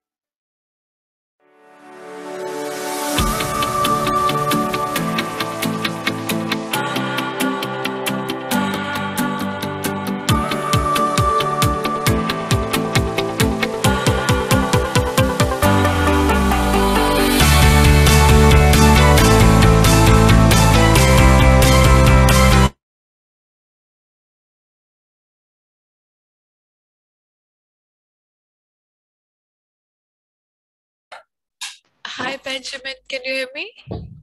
Yes. Can you hear me too? Yeah, I can hear you. How about you? a little bit stressed out now. Yeah, our meeting took a little bit longer, so sorry for being late. Okay, no problem. It's okay. Uh, so, um, okay, so thank you so much for being here and joining us as the keynote speaker. I'll introduce you and then you can start your presentation. Okay. Thank you. Okay, so ladies and gentlemen, this is with us is Benjamin uh, Sokolowiecki, who is the Internal Transformation Specialist at Wintershall DEA. With an experience of 10 plus years, uh, Benjamin is within the digital transformation team, working on self-service solutions to provide tools to the organization which help to simplify work, optimize processes, and getting more out of the company data. And uh, uh, Benjamin, it's a pleasure to have you here, and we are looking forward to have a great session. You can start your presentation after sharing your screen. Thank you, Serena. Um, so first of all, I will not have a presentation. I will just speak, um, if it's fine for you, because first of all, I have restrictions with, with my Zoom. Okay, um, no issues do it with my private. And yeah. So start? Yes. Good luck. Stage is all yours. You can speak now. Thank you. So hello from my side. Um, my name is, as Serena mentioned, uh, Benjamin Sokolowski. Um, I'm transformation specialist slash product manager at the digitalization and technology unit in Wintershall Dea. Um, they're responsible for self-service as well as uh, the digital worker topic we're um, driving forward for our organization. Um, by background, I started um, almost 15 years ago with Wintershall Dea. Um, on the production side, you can see behind me, and it's the only German operated production island Mittelplate. And we're producing there on a daily basis oil. And there my main task was um, CMS engineer. But besides that, I had also um, partly job as, as IT um, support and also driving digitalization projects there as well as, as other projects. So was a huge variety of, of tasks I had there. Um, my topic of today is um, taking the opportunity to transform your processes and be brave to change. So, but why? I would like to, to tell you something about this. So um, one of our core values, our core company values is we are brave. So what does this mean? Um, we are empowered to, to change things, whether it's processes or policies or the way we work. And besides that, we, we try to transform our organization into a more agile organization so that we think more in an agile way, we value the way of agile working and also the core values which comes with agile working. And therefore, we also try to improve um, our internal processes from the team as well as the external, uh, as the overall processes for the company. Um, sorry, one second. Um, so basically, um, when it starts to change processes, you don't do it just for your own. You want to, to change processes for your company, but um, to change your mind, to really become a changer, to change your processes itself, um, you have to start small. So on a daily basis, you can start thinking about what are you doing there? So, and really evaluate on each topic you're working on. Is this really necessary or can I do less? So, and then I will come to that in one of my examples. Um, you can do less and see what happens. And besides that, it's um, the how. How do we do things in that manner? So it's not just what we are doing, but how we're doing. Is it valuable um, to create paper after paper after paper just to, to have it somewhere stored uh, who's no one look and no one looks after? Or is it more valuable to have a common data source for everyone and also available for everyone? Um, one thing is, is really stop things that are not necessary in that case.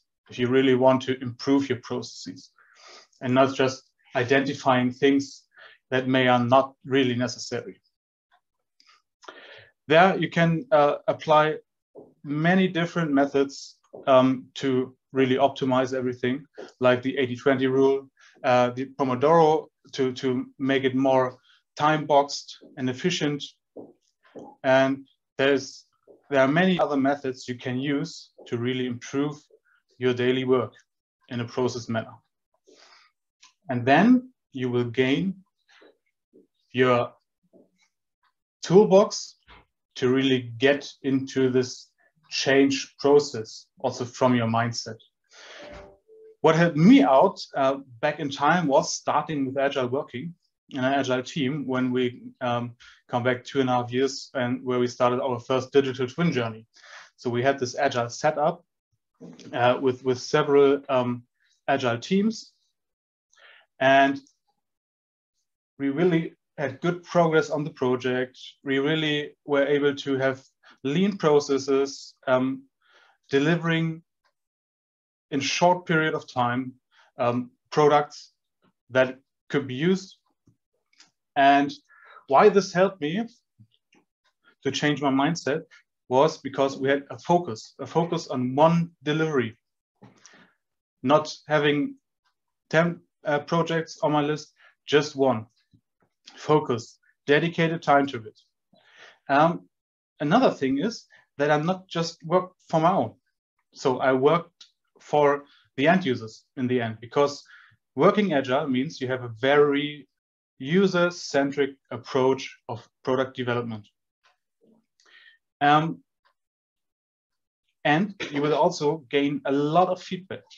Sometimes you will not like the feedback, but the feedback is still valuable and you can improve whether it's from the teamwork perspective or for your product.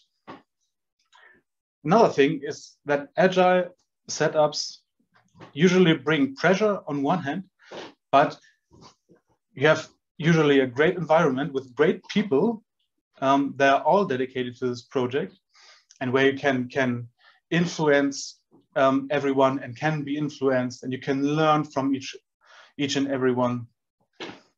And you will gain a great team spirit throughout this.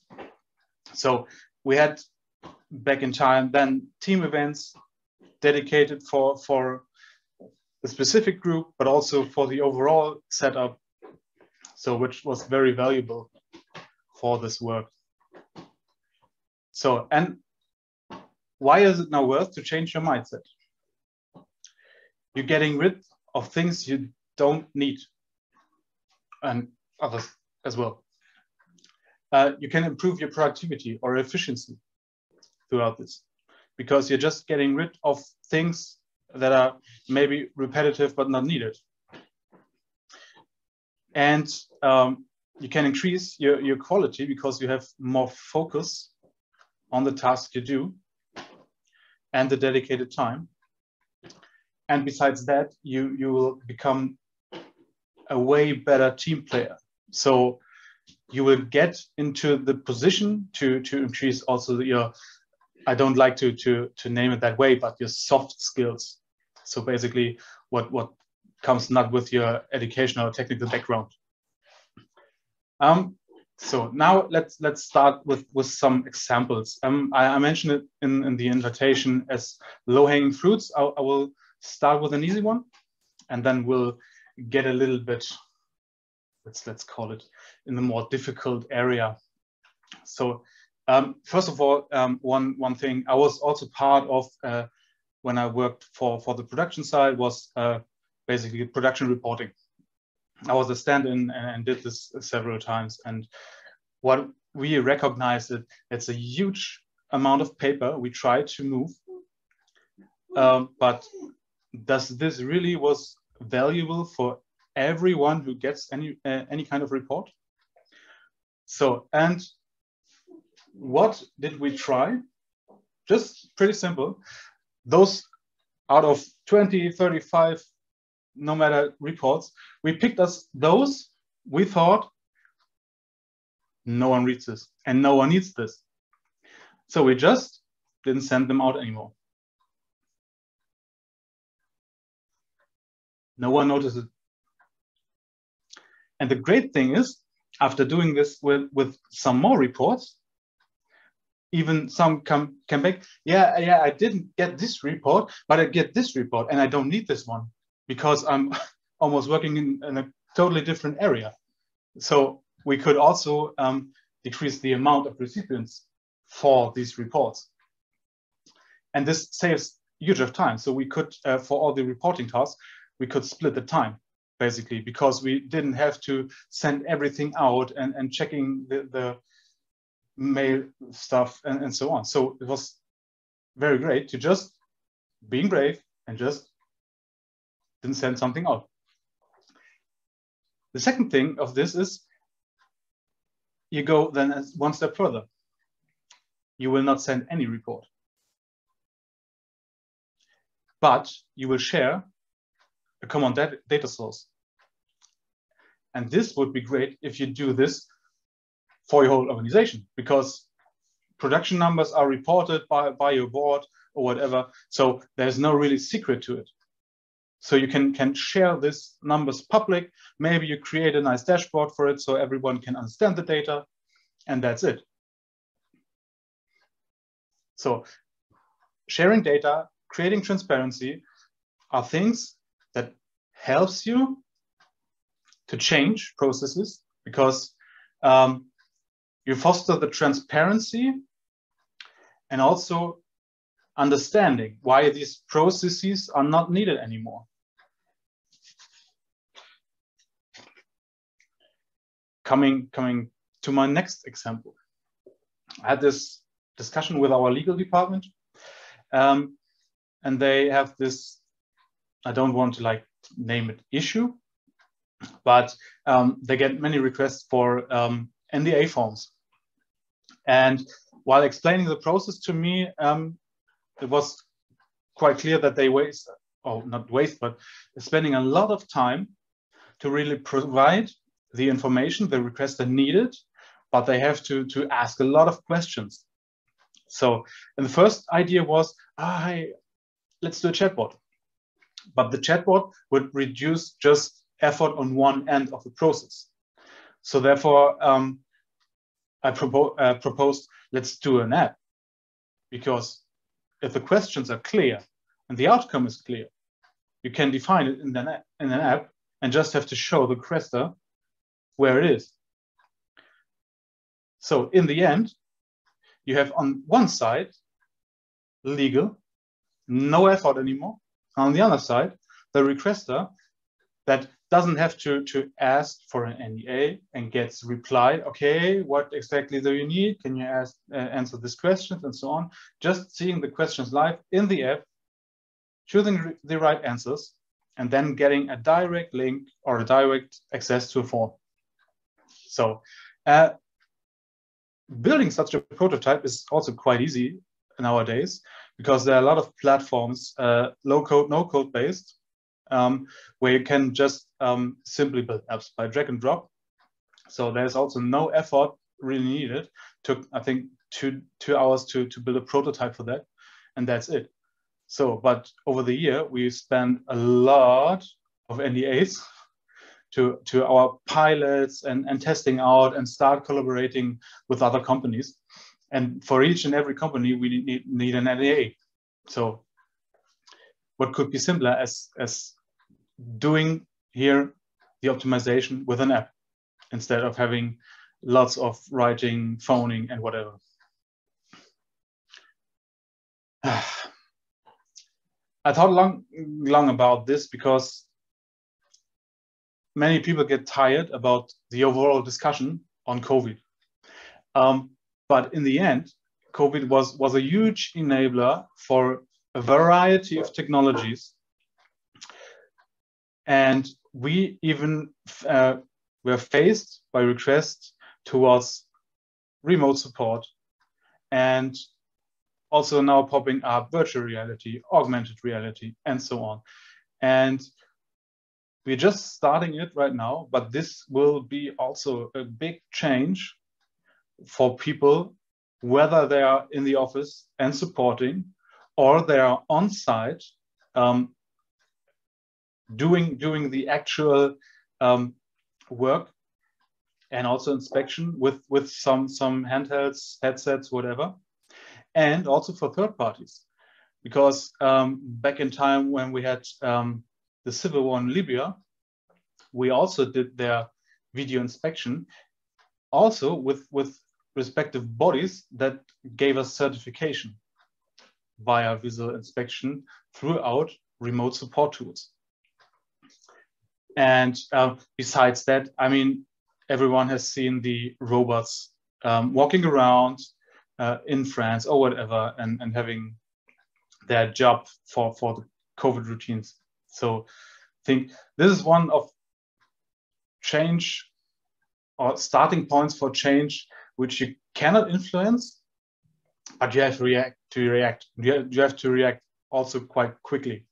And this is also something you can't do if you really have your old structures and old processes that slowing you down.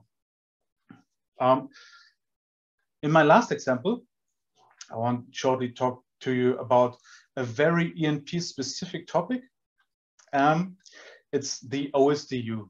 OSDU stands for Open Subsurface Data Universe, and it's um, kind of unique because it's the first open uh, data platform for the E&P business. And um, it's not, not just any, any kind of uh, digital twin platform. It's really meant for having your data in there, processing your data in there, and also um, standardized. So means that this will be effort for every company who wants to onboard, for sure. But um, every every service company, every um, even even a private person could build um, some applications for that. So and with this, you have a huge market for um, companies who want to sell software products. And on the other hand, of course, customers who can use and also share um, insights and feedback throughout the platform. I think this is also a big game changer in that area. And I know also that um, the German Fraunhofer Institute did something for, for um, manufacturer of pumps and machines and so on. So um, this will, this will um, be a huge impact on, on the industry overall.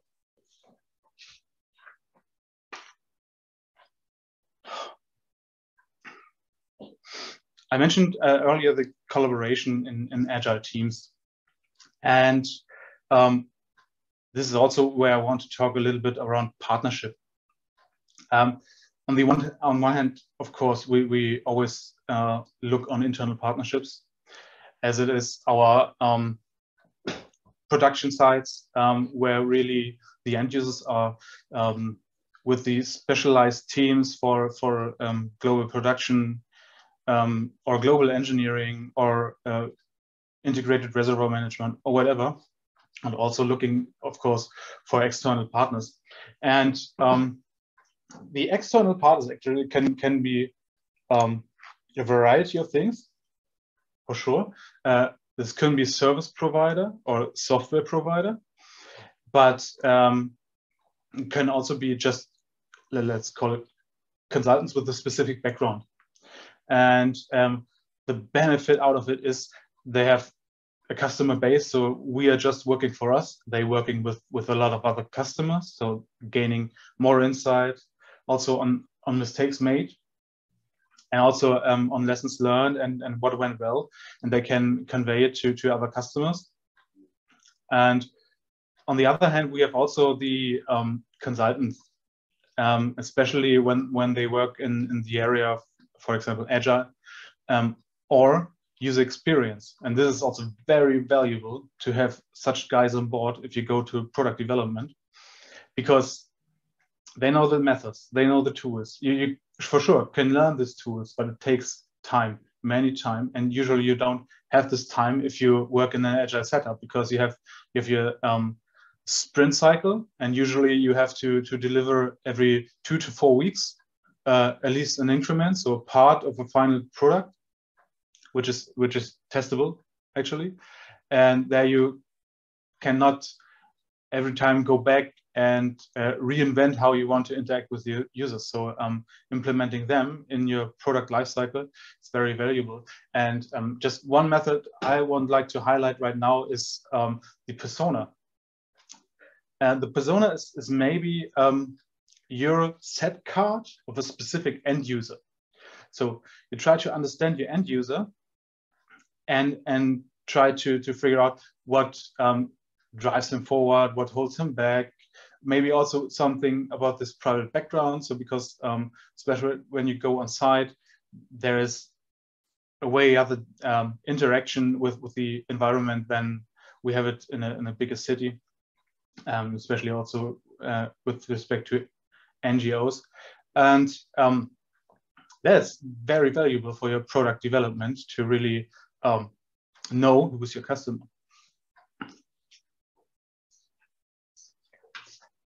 So with respect to time, I, I promised to just do 20 minutes. and I'm over now. Um, maybe now it's up to you. I think the opportunities are there everywhere, on every desk, um, on every workbench, or maybe also already in your private toolbox. Um, it takes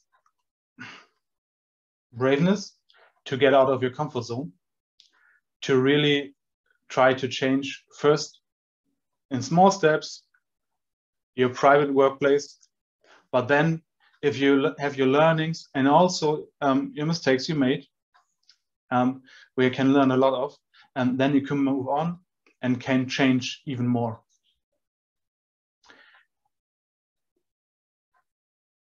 So um, last but not least, I would like to um, motivate you to share, whether it's mistakes or successes within your organization, but also with external, maybe with your network, which you should build, of course, because the world is getting smaller these days, especially in our industries.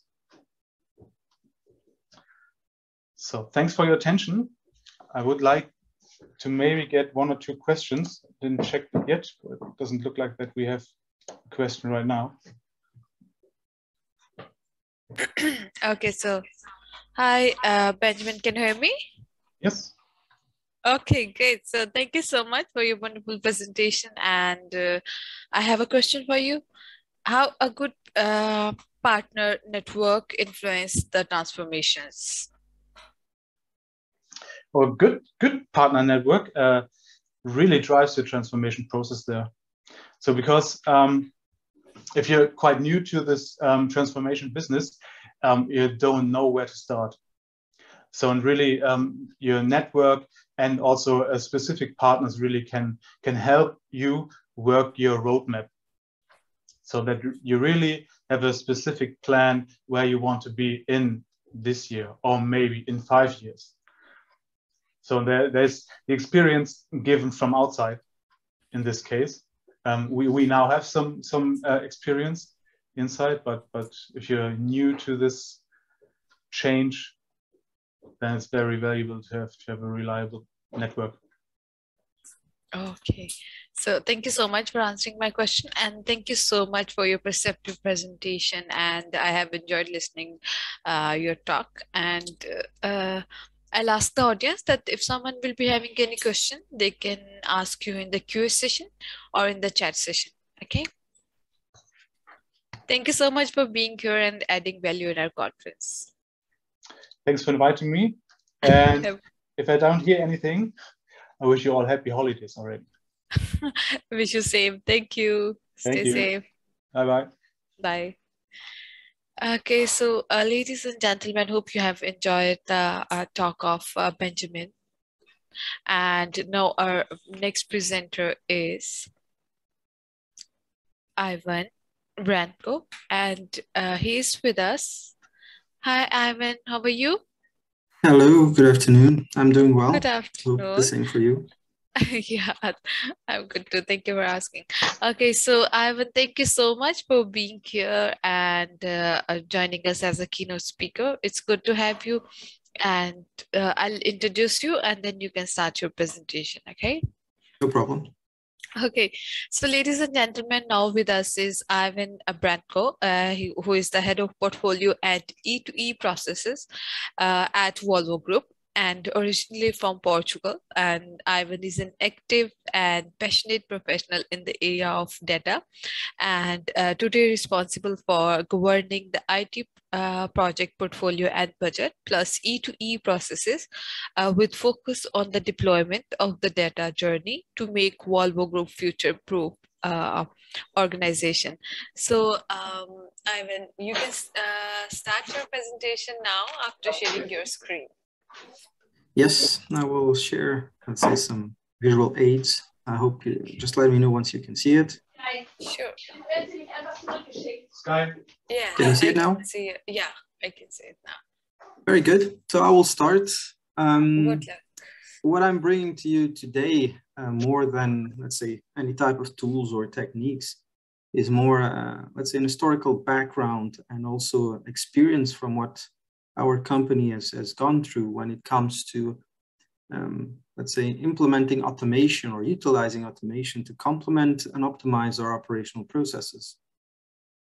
And the reason why I take this approach, first of all, is because we only have 30 minutes and uh, I'm not in the selling mode. It's more on sharing experience.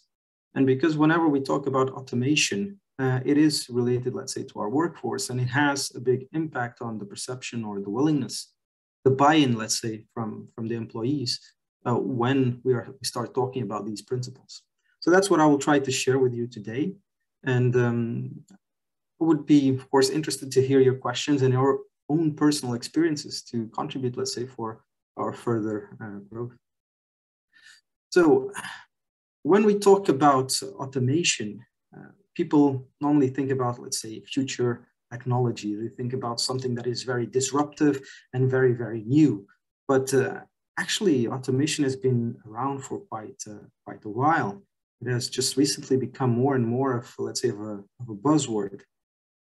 But when we think about what, what automation is about, just purely talking about applying uh, technical solutions to reduce human impact. And we've been doing that for, for quite some, some time now. So uh, it's not something new. It's not something, let's say, uh, surprising. It's something we've been uh, working with for, for quite a while. And sometimes when it's done in the correct way, it's actually seamless and we don't actually reflect so much uh, about it. Even if we think about our day to day, I mean, many of the solutions that we are using, I mean, yeah, we just forget that this is about optimizing um, processes that have existed for a while and trying to reduce as much the human um, factor into it. But you will never fully remove the human factor into it. And that's the perspective that we have to, to, to bring when we are communicating with our employees and when we are trying to optimize our processes through automation. So to start with, what is automation about? It is about the use or introduction of automatic equipment in the manufacturing or other process or facility. That is the definition that the Oxford Dictionary gives of automation. But then, like I mentioned before, it has already existed for quite some time. Uh, if we look at, the, at history, I mean, the printing press was an example of automation. Uh, in 1589, we had the automated knitting machine. So we had very many different examples throughout the different centuries of how we have been using, how we have utilized automation to really optimize how we work. And the goal has never been to uh, remove the employee. Some cases maybe that's arguable, but most of it was not about removing the employees, but it was about being able to focus on the important things, being able to focus on value creation, being able to focus on creativity. And that's what I will, I will try to explain because within uh, our company, we have in the latest years been very much focusing on how can we yeah, how can we use automation in a positive way with some positive insight? How can it be perceived as something that is helping us and not something that is there to remove work away from people? Um, hopefully, I'll be able to answer those questions for you. So when we talk about automation, I mean, historically, people have always reacted to automation by asking themselves if it, if it would replace them or what would happen to them. Uh, uh, how would they be able to continue? Uh, would they be out of jobs? How would they be affected by the changes in their social and professional reality? And like I said before, in, in some cases that happens. That was a correct statement. There was and there is an impact coming from automation, but this is this is due to uh, how we are using automation. So if we think about history again, we've had some many movements that have uh, rejected and, and try to fight against automation. The Luddite movement was one of the first movements to fight against automation and innovation. Today, we use actually the term Luddite to describe people who dislike new technologies or uh, resistant, let's say, to, to such things as automation. But uh, its origins of this uh, Luddite term, they date back to an early 19th century uh, labor movement that rallied against the ways that mechanized manufacturers uh, and their unskilled laborers uh, undermined the skilled craftsmen of the day. So we were taking away from uh, the experience, the, the craftsmanship of people and really focusing on simplifying the processes. So like I mentioned before, automation has not always been a positive thing. In, in many occasions, it has been used as an instrument to um, remove people, to improve or increase profits. Also, during the Great Depression, uh, as people bought more and more products like auto, automobiles, radios, uh, different appliances, and even began out to, to, to, to, go out and see movies and, and really go into a, cap a capitalistic approach, um, there was also resistance. And these new automated mass production lines made creating products much faster and easier. And this had an impact on employment rates and, and thus on the purchasing power, leading to economical unbalance. And this resulted into the Great Depression. Not the only reason, but one of the many reasons that contributed the economical depression. And then there is also the Triple Revolution Memorandum. So it's a, a, document stating the three revolutions that were underway in the world at that moment, which included also the cybernation revolution with the increase of automation, with the claim that machines would usher in a system of almost unlimited productive uh, capacity whilst continually reducing the number of manual laborers. So all of that contributes to the fear because history is showing to us, it's showing to the employees clear examples of how this was done or has been done in a not so positive way. And it is our role within our companies to show that automation can be taken or can be used in a different way. That is our responsibility. So when we look at the possibilities that are open by automation, we can see that uh, it is expected, or it was expected by 2020, uh, 2018, sorry, by Gartner, that automation would make 1.8 million jobs redundant. You can see as well that in our society, people are worried about increased automation in the workplace. What does that mean for me? They're worried about losing their jobs because of automation. And they also understand that this will cause a displacement if we talk about manufacturing, um, of jobs and facilities by 2030. So these are certain examples of where we already see um, an impact of automation into society. Then let's go to the beginning again, not at history, but on the basic principle of why we should use automation. And let's try to then take it to a positive place. Let's try to understand how we can use it to add value, creating an understanding, uh, understanding, sorry, and also an engagement from the employees where we can actually extract value from automation. That is what we have tried to do within our company. So the first understanding is that the reason why we should use automation is to replace mechanistic thinking. What I mean is that those repetitive actions that we have to do on a daily basis. That should be the focus of what we want to replace. But on the other hand, we should invest in the critical thinking. We should invest into the creativity, into the core thinking as well. We should give more time for people to focus on things that can give them satisfaction, where they can feel that they are part of the strategy and the outcome of the company, where they're helping us build a vision and not just simply performing or doing repetitive actions. And if we look at how the world has been developing, it is true that we are seeing that people are more engaged into service-like activities and less on manufacturing activities. If we look at a manufacturing line of today and the number of people that are engaged into manufacturing, and if we look at just a few years back, um, the approach has been changing. And automation is a facilitator, is an enabler to do this. So if we're able to show people that positive side, I think that the employees will be a lot more engaged. And by that, connecting it to process management, to uh, process optimization, um, we will be able to do things quicker and better, more efficiently. So that's the type of message that we're trying to, to share with people. That yeah, on one side, you have the robots performing those repetitive actions on the other side, you have the humans focusing on creativity, on creating new solutions, on creating new products, on creating new visions. That's the approach that we've been trying, to take. Also because this takes us to the paradox of automation. I mean, the man needs the machine, but the machine also needs the man. Um, it is true, we will have less people, mm, less humans involved in the actual process, but their involvement will be critical to the stability and outcome of the process. You'll need to secure the knowledge behind how the process was designed and created, and you'll need to secure the continuous execution of that process. And that cannot be done by the automatic process itself.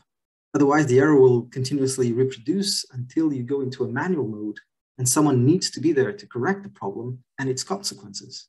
So going back again, man needs machine, machine also needs man. Plus, many of the surrounding processes to an automated process are limited in possibilities of being automated as well, as they require human level pattern recognition, language comprehension, and language production abilities, which machines are not able to do. So we will again need man to be involved. And then there's also cost in many cases, it is less costly to have certain activities performed by humans than machines.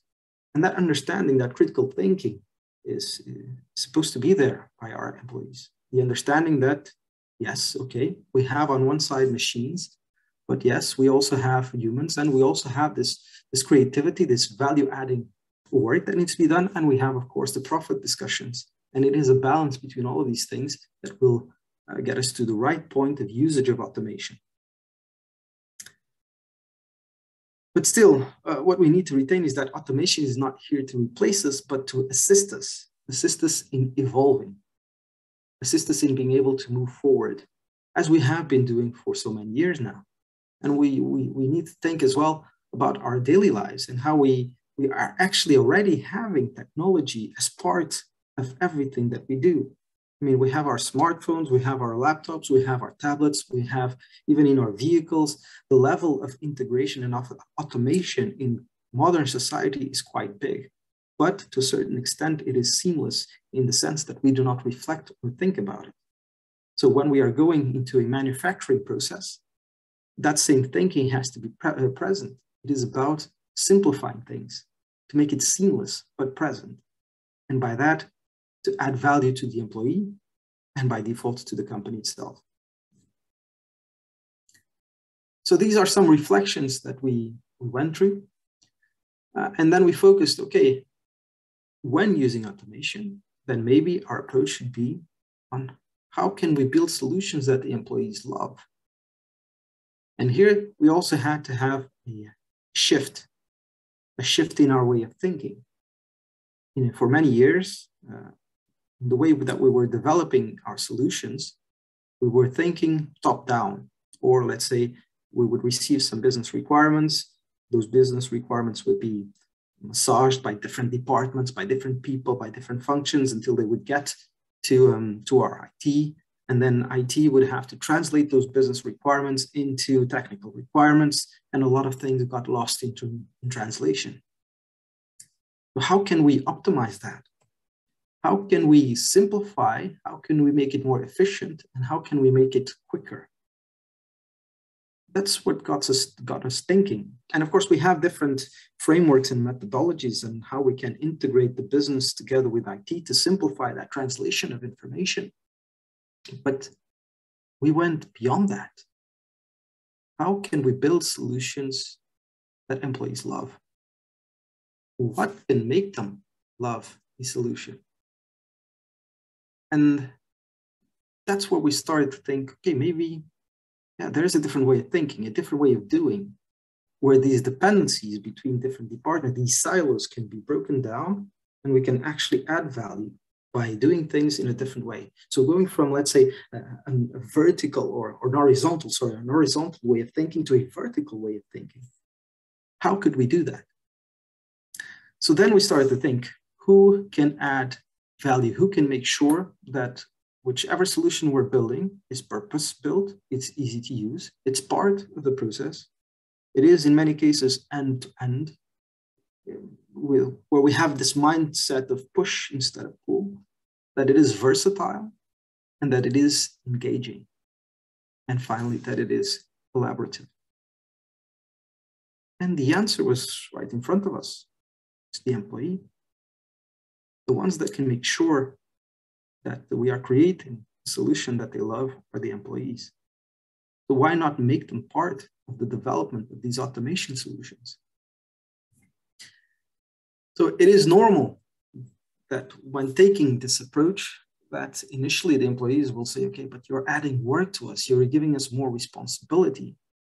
No, by using this approach that we, it's called in the industry citizen development, by allocating the responsibilities of the development to the employees using, let's say, uh, non-IT trained employees to become software developing uh, developers using, let's say, IT approved low code or no code solutions. Um, we felt that whatever we would be delivering would be closer to what they actually need because that would be their focus.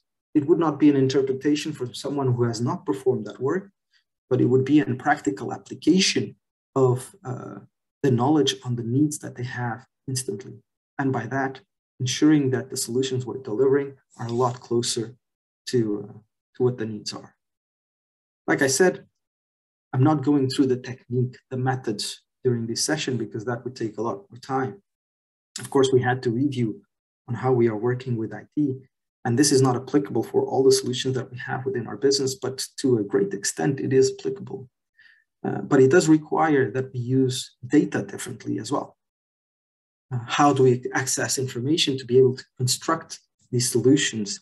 And also it will result in um, an increase on the number of solutions. And of course, you need to have the governance structures connected to that. But the end result is that the engagement of our employees has increased because they can see that they are the masters of their process and that they can build the solutions that will assist them with those specific uh, processes. And then when it comes to IT, it's not like we're removing IT completely because they have the experience that can assist then our citizen developers in the work that they need to perform. So it became simpler in the communication as well. They are working a lot closer to, to the business using some other uh, frameworks that we have in the industry. Uh, and by combining all of this together, we can see that we are a lot quicker in providing also to our customers the products that they need. So when we look at the citizen development, it's not really a role, it's not a title. It's more about having this kind of full enterprise-wide automation and creating a dynamic environment. That's how we saw it, and that's how we, we developed it as well. Also, we are currently in a new era when it comes to, um, to automation with many different solutions available. Uh, and it is about being able to use these uh, solutions to add value. So uh, we call this as a, a new era. It is an evolution or revolution when it comes to how we have worked with automation in the past. It's a lot easier and a lot quicker to be able to, to develop these, uh, these solutions.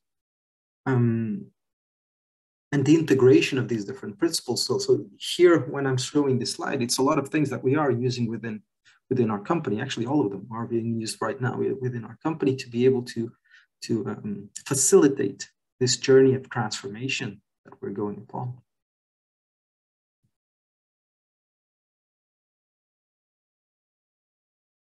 So then this means that the employee's profile is also going to be different. Um, and when we are talking about having a different profile, again, this can be misinterpreted. Interpreted. People might think that we're talking about getting rid of the current workforce and then focusing on, on a new workforce. But no, there's different ways of doing that. And this is also something that we've been engaged in. So of course, we first have upskilling. So taking our current workforce and educate them on the new principles. Then it can be that through automation, certain of the existing rules will be made uh, redundant. Then we talk about reskilling. So taking people and, and together with them, agreeing on, hey, what is your personal interest? How can we then use your skills and transform those skills to a new role that you are supposed to have because that role might have become redundant through the automation process. It is, of course, as well about recruiting. In some cases, those certain parts of the skills are not easily just uh, learned, but that should be, let's say, a ultimate scenario. And it is in some cases about buying. Um, when we go into these transformation journeys, there are few companies that have a lot of experience. And then, of course, we should use that experience to accelerate this transformation journey. Also, very important to mention is that this, these principles have to be integrated into the corporate identity, into its values, culture, principles, and of course, processes, because the processes are at the core of why we are going in this direction. So it needs to be embedded on corporate strategy. It needs to be aligned with your IT organization or, or services. And it has to meet the clear expectations from the workforce. So the dialogue is essential. So when we look at all of this, uh, automation is a great enabler. It's a great possibility to become better. And it's very simple if you look at the tools that we have available today. And by this, we are making sure that the employees are fully engaged. We're making sure that our processes are being optimized to the fullest by those who are affected by them. And uh, we can just summarize that uh, this is just the beginning. So I don't know if there are any questions, but this is what I had to share with you today regarding our experiences within, uh, within our company when it comes to this specific area. Uh, and I hope uh, it has been uh, an interesting topic for you. But like I said, here keeping it very high level, but sharing mostly the experience that we have had in this area without going too much into the technicalities, because that would take us uh, too much time.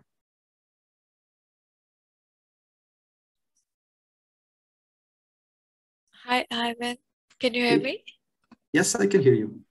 Okay, so thank you so much for your wonderful presentation, and it was really very interesting session. And uh, uh, thank you so much for being here and adding value in our conference. And I hope everyone have enjoyed your uh, listening your talk. And uh, I'll ask them that if they have any question, they can ask you in the chat or in the QA session. Very good. Okay. So uh, thank you so much for joining us and happy holidays. Have a great Likewise. day. Happy holidays to, to everyone as well. Thank you. Thank you so much. Stay safe. Bye. Bye. Okay, so ladies and gentlemen, now uh, as we are at the end of our conference, so this has been a wonderful conference. I have enjoyed listening to the talks uh, from our valued keynote speaker. It is a privilege and honor to be entrusted with such an undertaking at a gathering of such eminent people from different parts of the world. So thank you so much to our esteemed presenters for their valuable point of view. Now we are reached at the end of our conference and uh, uh, on behalf of Platinum Global Solution, I would like to thank all the stakeholders, including speakers, delegates, and sponsors, without whom this conference would not have been possible. I extend my best wishes to all of you and we will be back with novel themes in the coming months in the field of BPO and um, services excellence. And uh, happy holidays. Have a nice day. Stay safe.